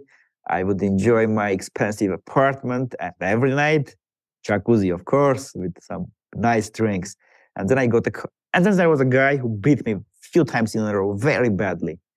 I analyzed the game to see if I was unlucky, but then I thought, no, no, no, no I was not unlucky. This guy just dominates me, not just wins me, badly dominates me. Like, ah, I'm not so good anymore. My ego is hurted. Wait. So I like, okay, let's find the coach. So I found the coach. Coach checked my games. and like, you are weak. and I'm like, wait, wait, wait. I'm winning the game. Look. They're like, yeah, you win the game, but you are weak. You have so many weaknesses that anyone who is a little bit better than you can exploit you badly. That was a big revelation to me. Like, okay, that day I sold my Mercedes car. I was living like, ah, I'm Grand Master. I have Mercedes car, and I have everything I want. I have my jacuzzi. I sold my car. I hired five coaches who would work with me everyone with separate area of poker because I realized realized how weak I am, how better I can be. And that was one of the probably best decisions I've ever made to learn to invest in myself. And that's also something I learned in the future all my life. I always try to invest in myself. And then you you, you were telling me you made this list of all the things that you thought you understood, uh, the bold, unbold list. Yeah. So what I was doing, James, I they would, you know, five strong poker coaches whom you are paying, whom you are paying a lot, they are teaching you a lot. and there would there would be days I would I would have two lessons with different coaches. They would give me books, courses, articles, their things to learn, and I would learn hundred things at, in one day. And then with my weak memory, I could not remember that all. So in, in poker, when you don't learn everything, it's, it's quite expensive hmm. because you pay right away with your mistakes. And it's poker, you pay money. I'm like, no, no, no, this is not the way. I have five coaches. I pay them a lot. They are best. And they teach me so much, but I, whatever I study, I don't learn that was a big thing for me. Like study and learning, it's not the same. It's not the same at all. So then I found this technique for me that I used over and over again. And then years and years, I taught others. Some people started to use that. Uh, and everyone, whatever I will tell you now, they are free to read an article or write a book about that, that, that thing. So here is what I came up. I would not just write down all hundred things I have learned. This is something popular. Write down notes, take notes, what you have learned. But what I would do is this. Uh, I would bold everyone just in the Word document or Google document, bold. And before the game, I would go, I would go through that list and then play. With playing, I would try to digest the information I have. So you eat and you digest, right? So I would try to digest that information. Then at the end of the session, I would come back and review my list, that hundreds of notes. And like, okay, this is I remembered, remembered. Oh, about this I forgot. So whatever I remembered, I would unbold them and I would keep others bolded. So next time I come, it's, it's not hundreds, hundred notes. There are 30. 70, I, I know them more or less. The 30 where I'm going to focus because my brain my million minions, they cannot focus on 100 things. Okay, focus on this 30. And then I would play, come back and see how much did I remember. And so like that, I would bold and unbold whatever I have learned. Sorry, whatever I have studied. And this is the way I, I would learn things. This is the way it would go to my uh, unconscious competence, where unconsciously I would know things. And that came, this unconscious competence came from one of my poker coaches. So many things I, I have learned from my different coaches that I took to trust. I had poker coaches, I had uh, chess coaches, I had kung fu coaches, I had different coaches. So one thing did my coach, my first ever coach, I said, okay, I want to become better. And he's like, okay, send me your last games. It calls in poker, it calls hands. I had about 100,000 hands played in the last month. And he said, like, send me. Like, coach, I was not in a good mood. That's not really me. Let me send you the previous month's uh, notes. Like, no, no, no, send me this. Like, why? It's not me. He said, look, if, if I wake you up in the middle of the night and I would I would ask you, would you would you do would you do this stupid move? You would say no. Why? Because it's your unconscious competence. You deeply understand that. So I want to see your games of the last hundred thousand games when you were not in a good mood, because I want to see what you understand and what you not deeply understand. What are your in your conscious competence and what are in your unconscious competence? I want to see what are there. This is where I, okay, conscious competence, unconscious competence. I need to learn things so deeply that they are in my unconscious competence. This is this is this was the way that I took with me whatever I now do. I read books, I take notes, I bold, I'm bold, I have my list, and I go through them all the time. And I try to take them with me to my unconscious competence where they deeply have their place.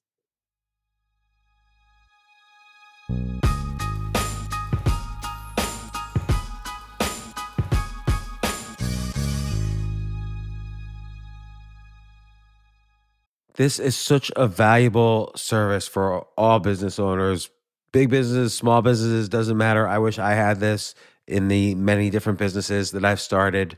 Sometimes it seems like your business is humming, but then suddenly you don't understand it. You're starting to fall behind. You're not understanding what where your costs are, uh, where your revenues are, where where your payments are. Teams are buried in all sorts of like BS work, and you can't seem to close the books. So you need like one dashboard, one source of truth. I'm jealous of this business, NetSuite from Oracle, of course, NetSuite by Oracle. I wish I'd come up with this idea. It's it's it's a brilliant concept to have all your business intelligence on one dashboard. This is why you need to know these three numbers 37,000, 25, and 1. So 37,000, that's the number of businesses which have upgraded to NetSuite by Oracle. NetSuite is the number one cloud financial system, streamlining accounting, financial management, inventory, HR, and more. 25. NetSuite turns 25 this year. That's 25 years of helping businesses do more with less, close their books in days, not weeks, and drive down costs. One, because your business is one of a kind. So you get a customized solution for all of your key performance indicators, your KPIs, in one efficient system with one source of truth. Manage risk, get reliable forecasts, and improve margins. Everything you need to grow all in one place. So right now, Download NetSuite's popular KPI checklist designed to give you consistently excellent performance absolutely free at netsuite.com slash James. That's netsuite.com slash James to get your own KPI checklist. netsuite.com slash James.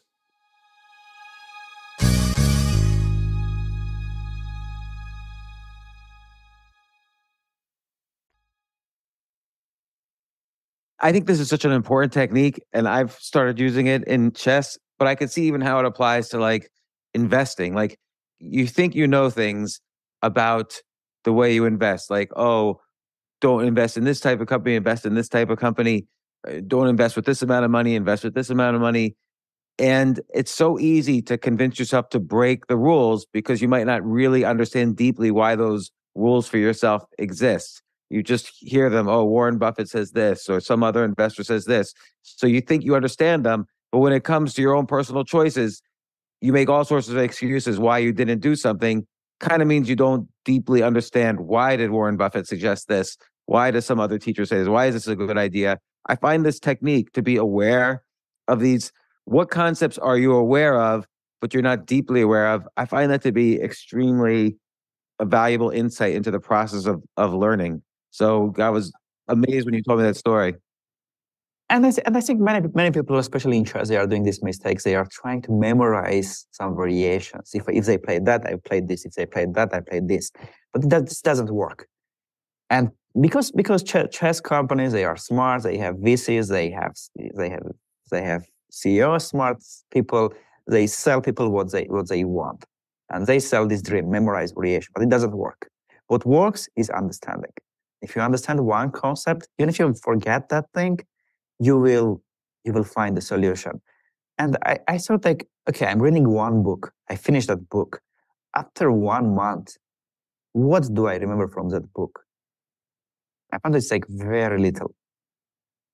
Oh, so why do I read so many books if I remember so little? My ego is happy. My ego is like, oh, I read that, that, that, that. I studied that, that, that. My ego makes happy like I'm I'm improving. But like, wait, ego, dear ego, you don't really improve. You are just studying, you are not learning.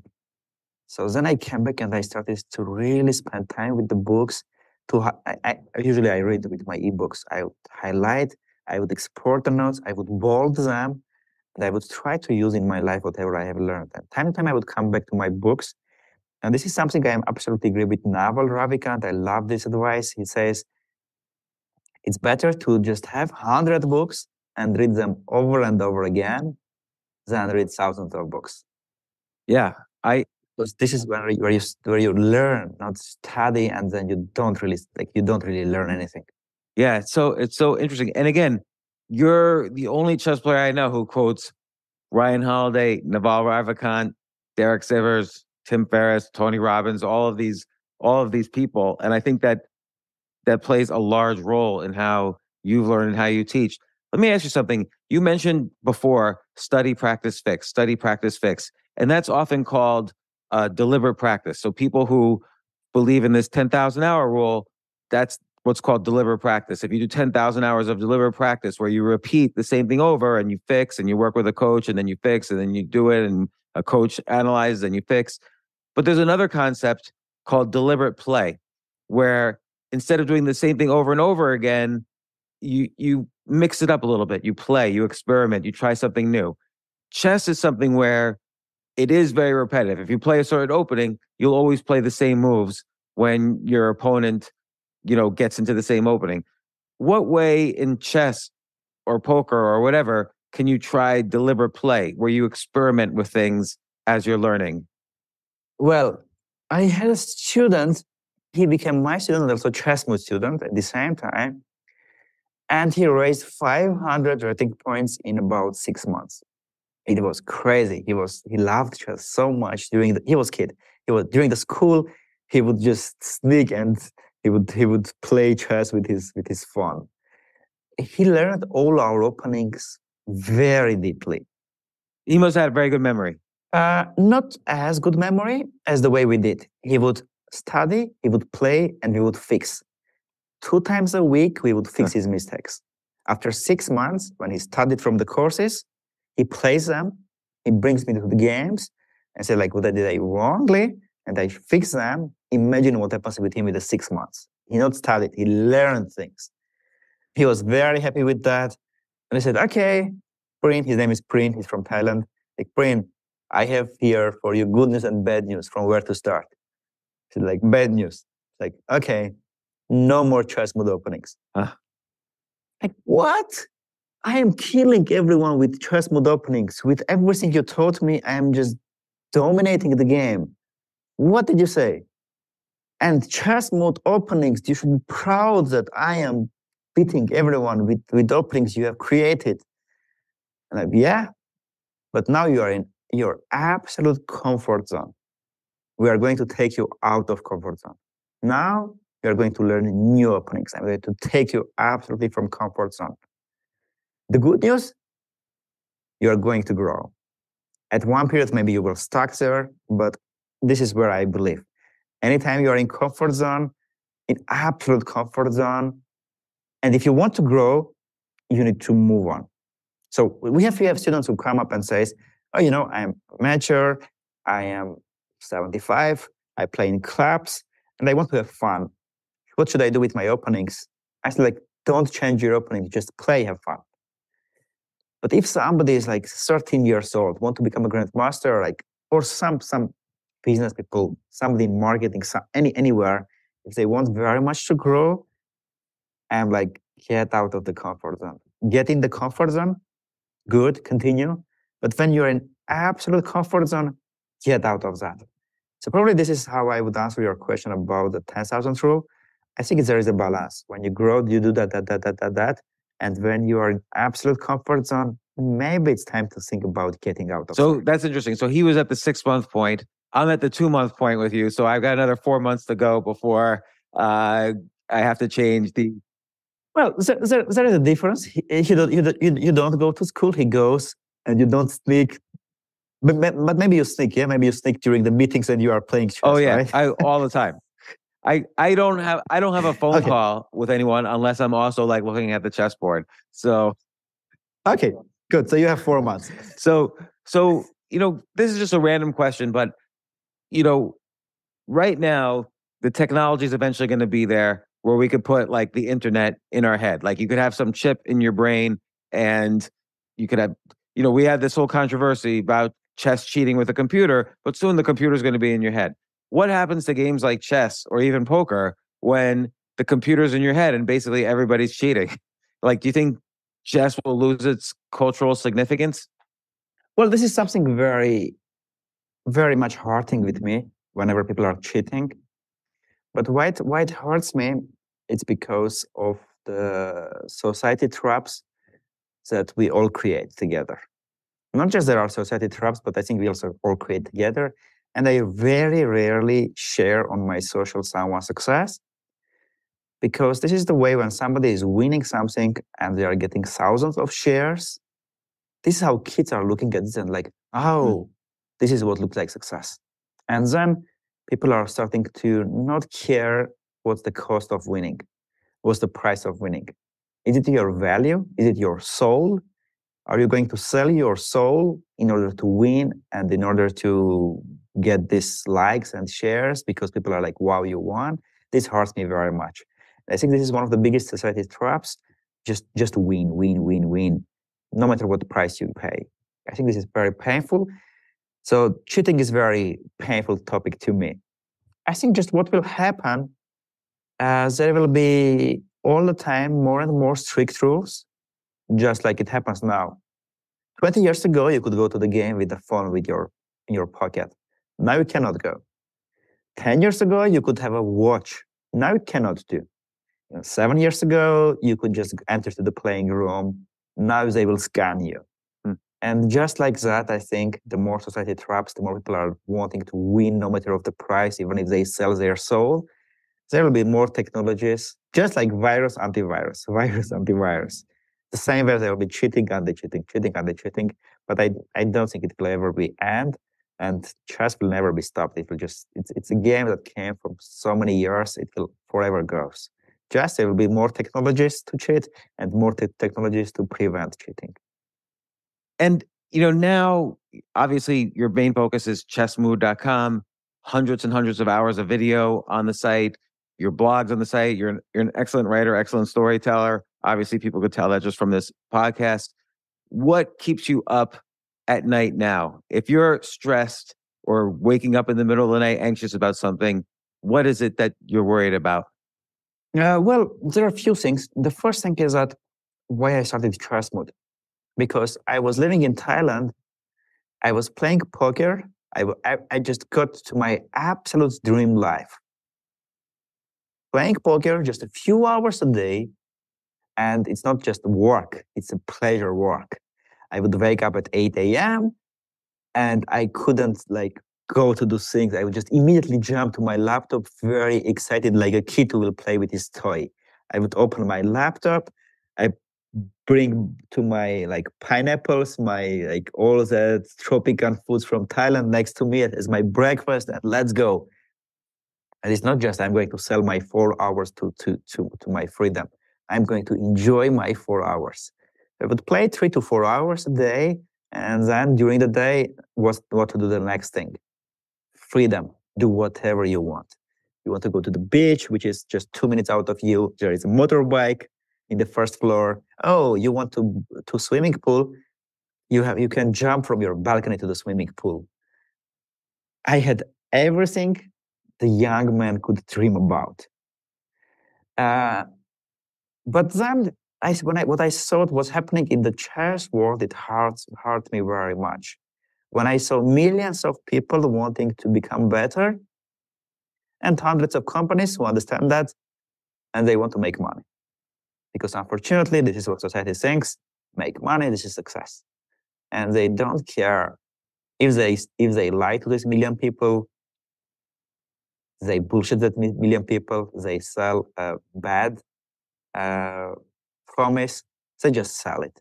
It hurted me very much.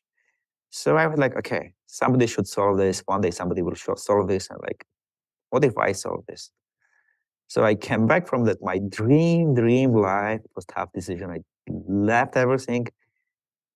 I came back to, to my country because that time already I started to brainstorm about that. I even hired a few people. I thought like, no way. Like, as in the movies, king always goes in front of the army. I should be in front of my army. There is no way I am just lying in, under the coconut tree, uh, drinking a cocktail in my pineapple. And I'm like, why you didn't do that task? I should be in front of them. So I came back and started that. My main pain is so many people are wanting to improve. There are just a few people I can count them on my fingers that genuinely wants to help them. And there were hundreds of companies. Now there are not hundreds. I think the big uh, sharks ate all of them. There are few companies who just left and right selling things, and that that is hard. That is hard for me. That's. Pain, that is painful. So I am like kind of that Superman, that uh, guy who comes and rescue the people. I'm trying to do that. Like, no, no, no, no. You are buying all that things, you are spending all that money, and you are frustrated why it doesn't work. You are just lied because there were there are VCs who need money, and VCs to make the money they are putting harsh deadline to CEOs, and if the CEO doesn't make that, they will be fired. So CEO needs to sell how. There is no way just to sell so much to in order to convince that VCs that they are good, in order not not just to lie. So there are lots of pain to me what's happening in the world, in the chess world.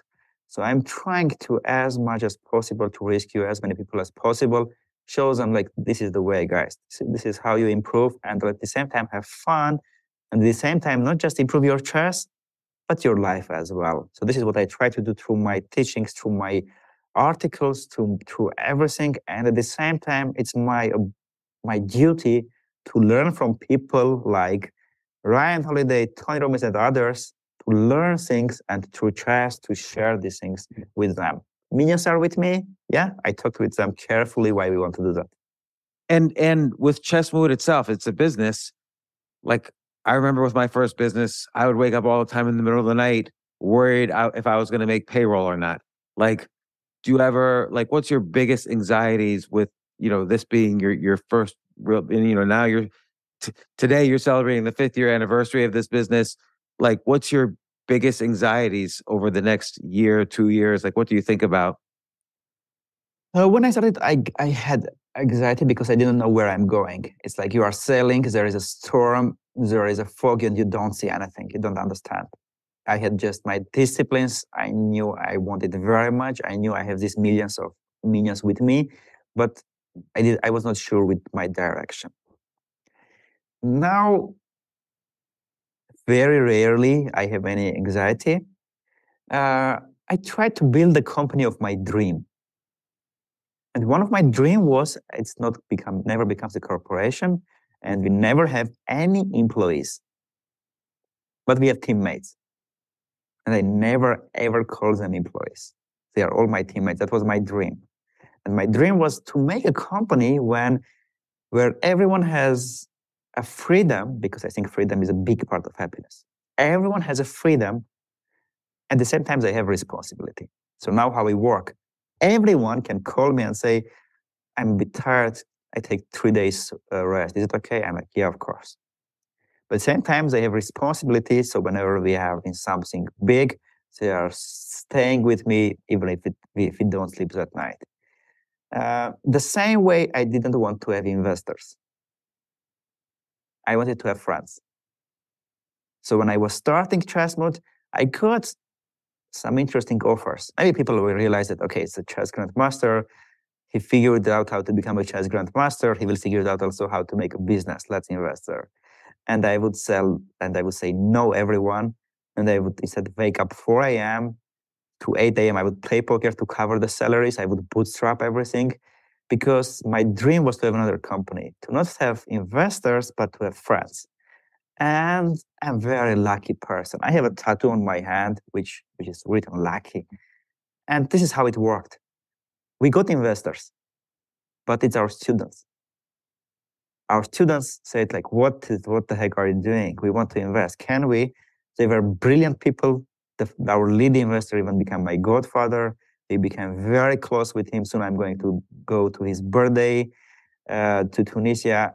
And we got these relationships where, you know, a kid who is 12 years old trying to achieve something in life, has some dreams, and has parents, uncles, aunts who are always supporting them, who are always going to show them direction.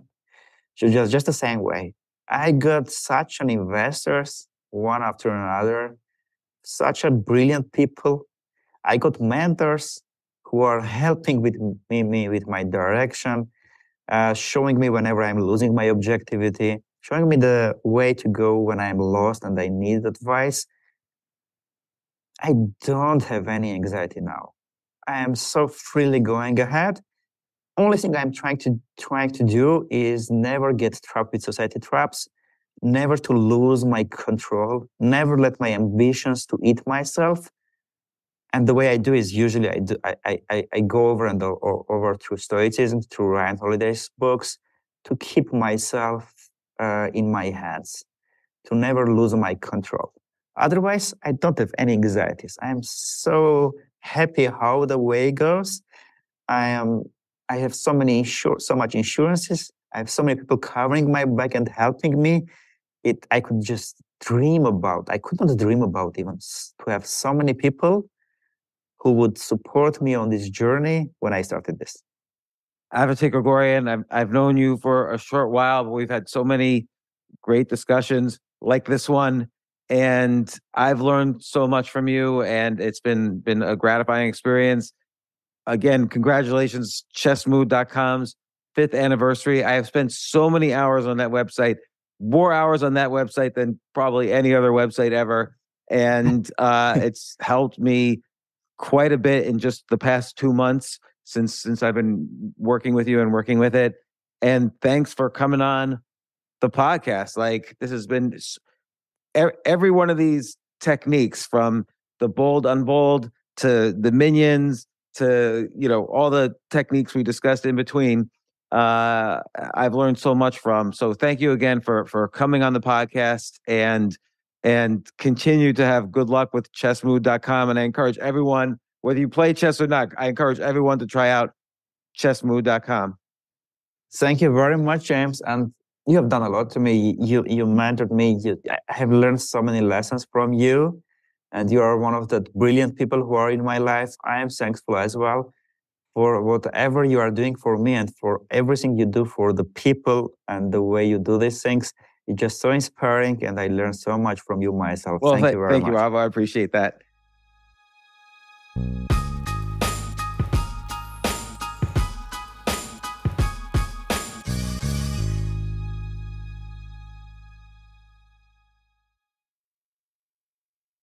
Entresto, sacubitril valsartan tablets, is the number one heart failure brand prescribed by cardiologists and has helped over 1 million people with heart failure It's a prescription medicine that treats adults with long lasting chronic heart failure and works better when the heart cannot pump a normal amount of blood to the body. Don't take Entresto if pregnant. It can cause harm or death to an unborn baby. Don't take Entresto with an ACE inhibitor or aliskiren, or if you've had angioedema with an ACE or ARB. Don't take with aliskiren or within 36 hours of taking an ACE inhibitor. The most serious side effects are angioedema, low blood pressure, kidney problems, or high blood potassium. Angioedema is swelling of your face, lips, tongue, and throat that may cause death. If it causes difficulty breathing, get emergency help. Ask your doctor about Entresto. To learn more, visit support.entresto.com or call 833 446 6699. For pricing, visit Entresto.com backslash cost. If you can't afford your medication, Novartis may be able to help.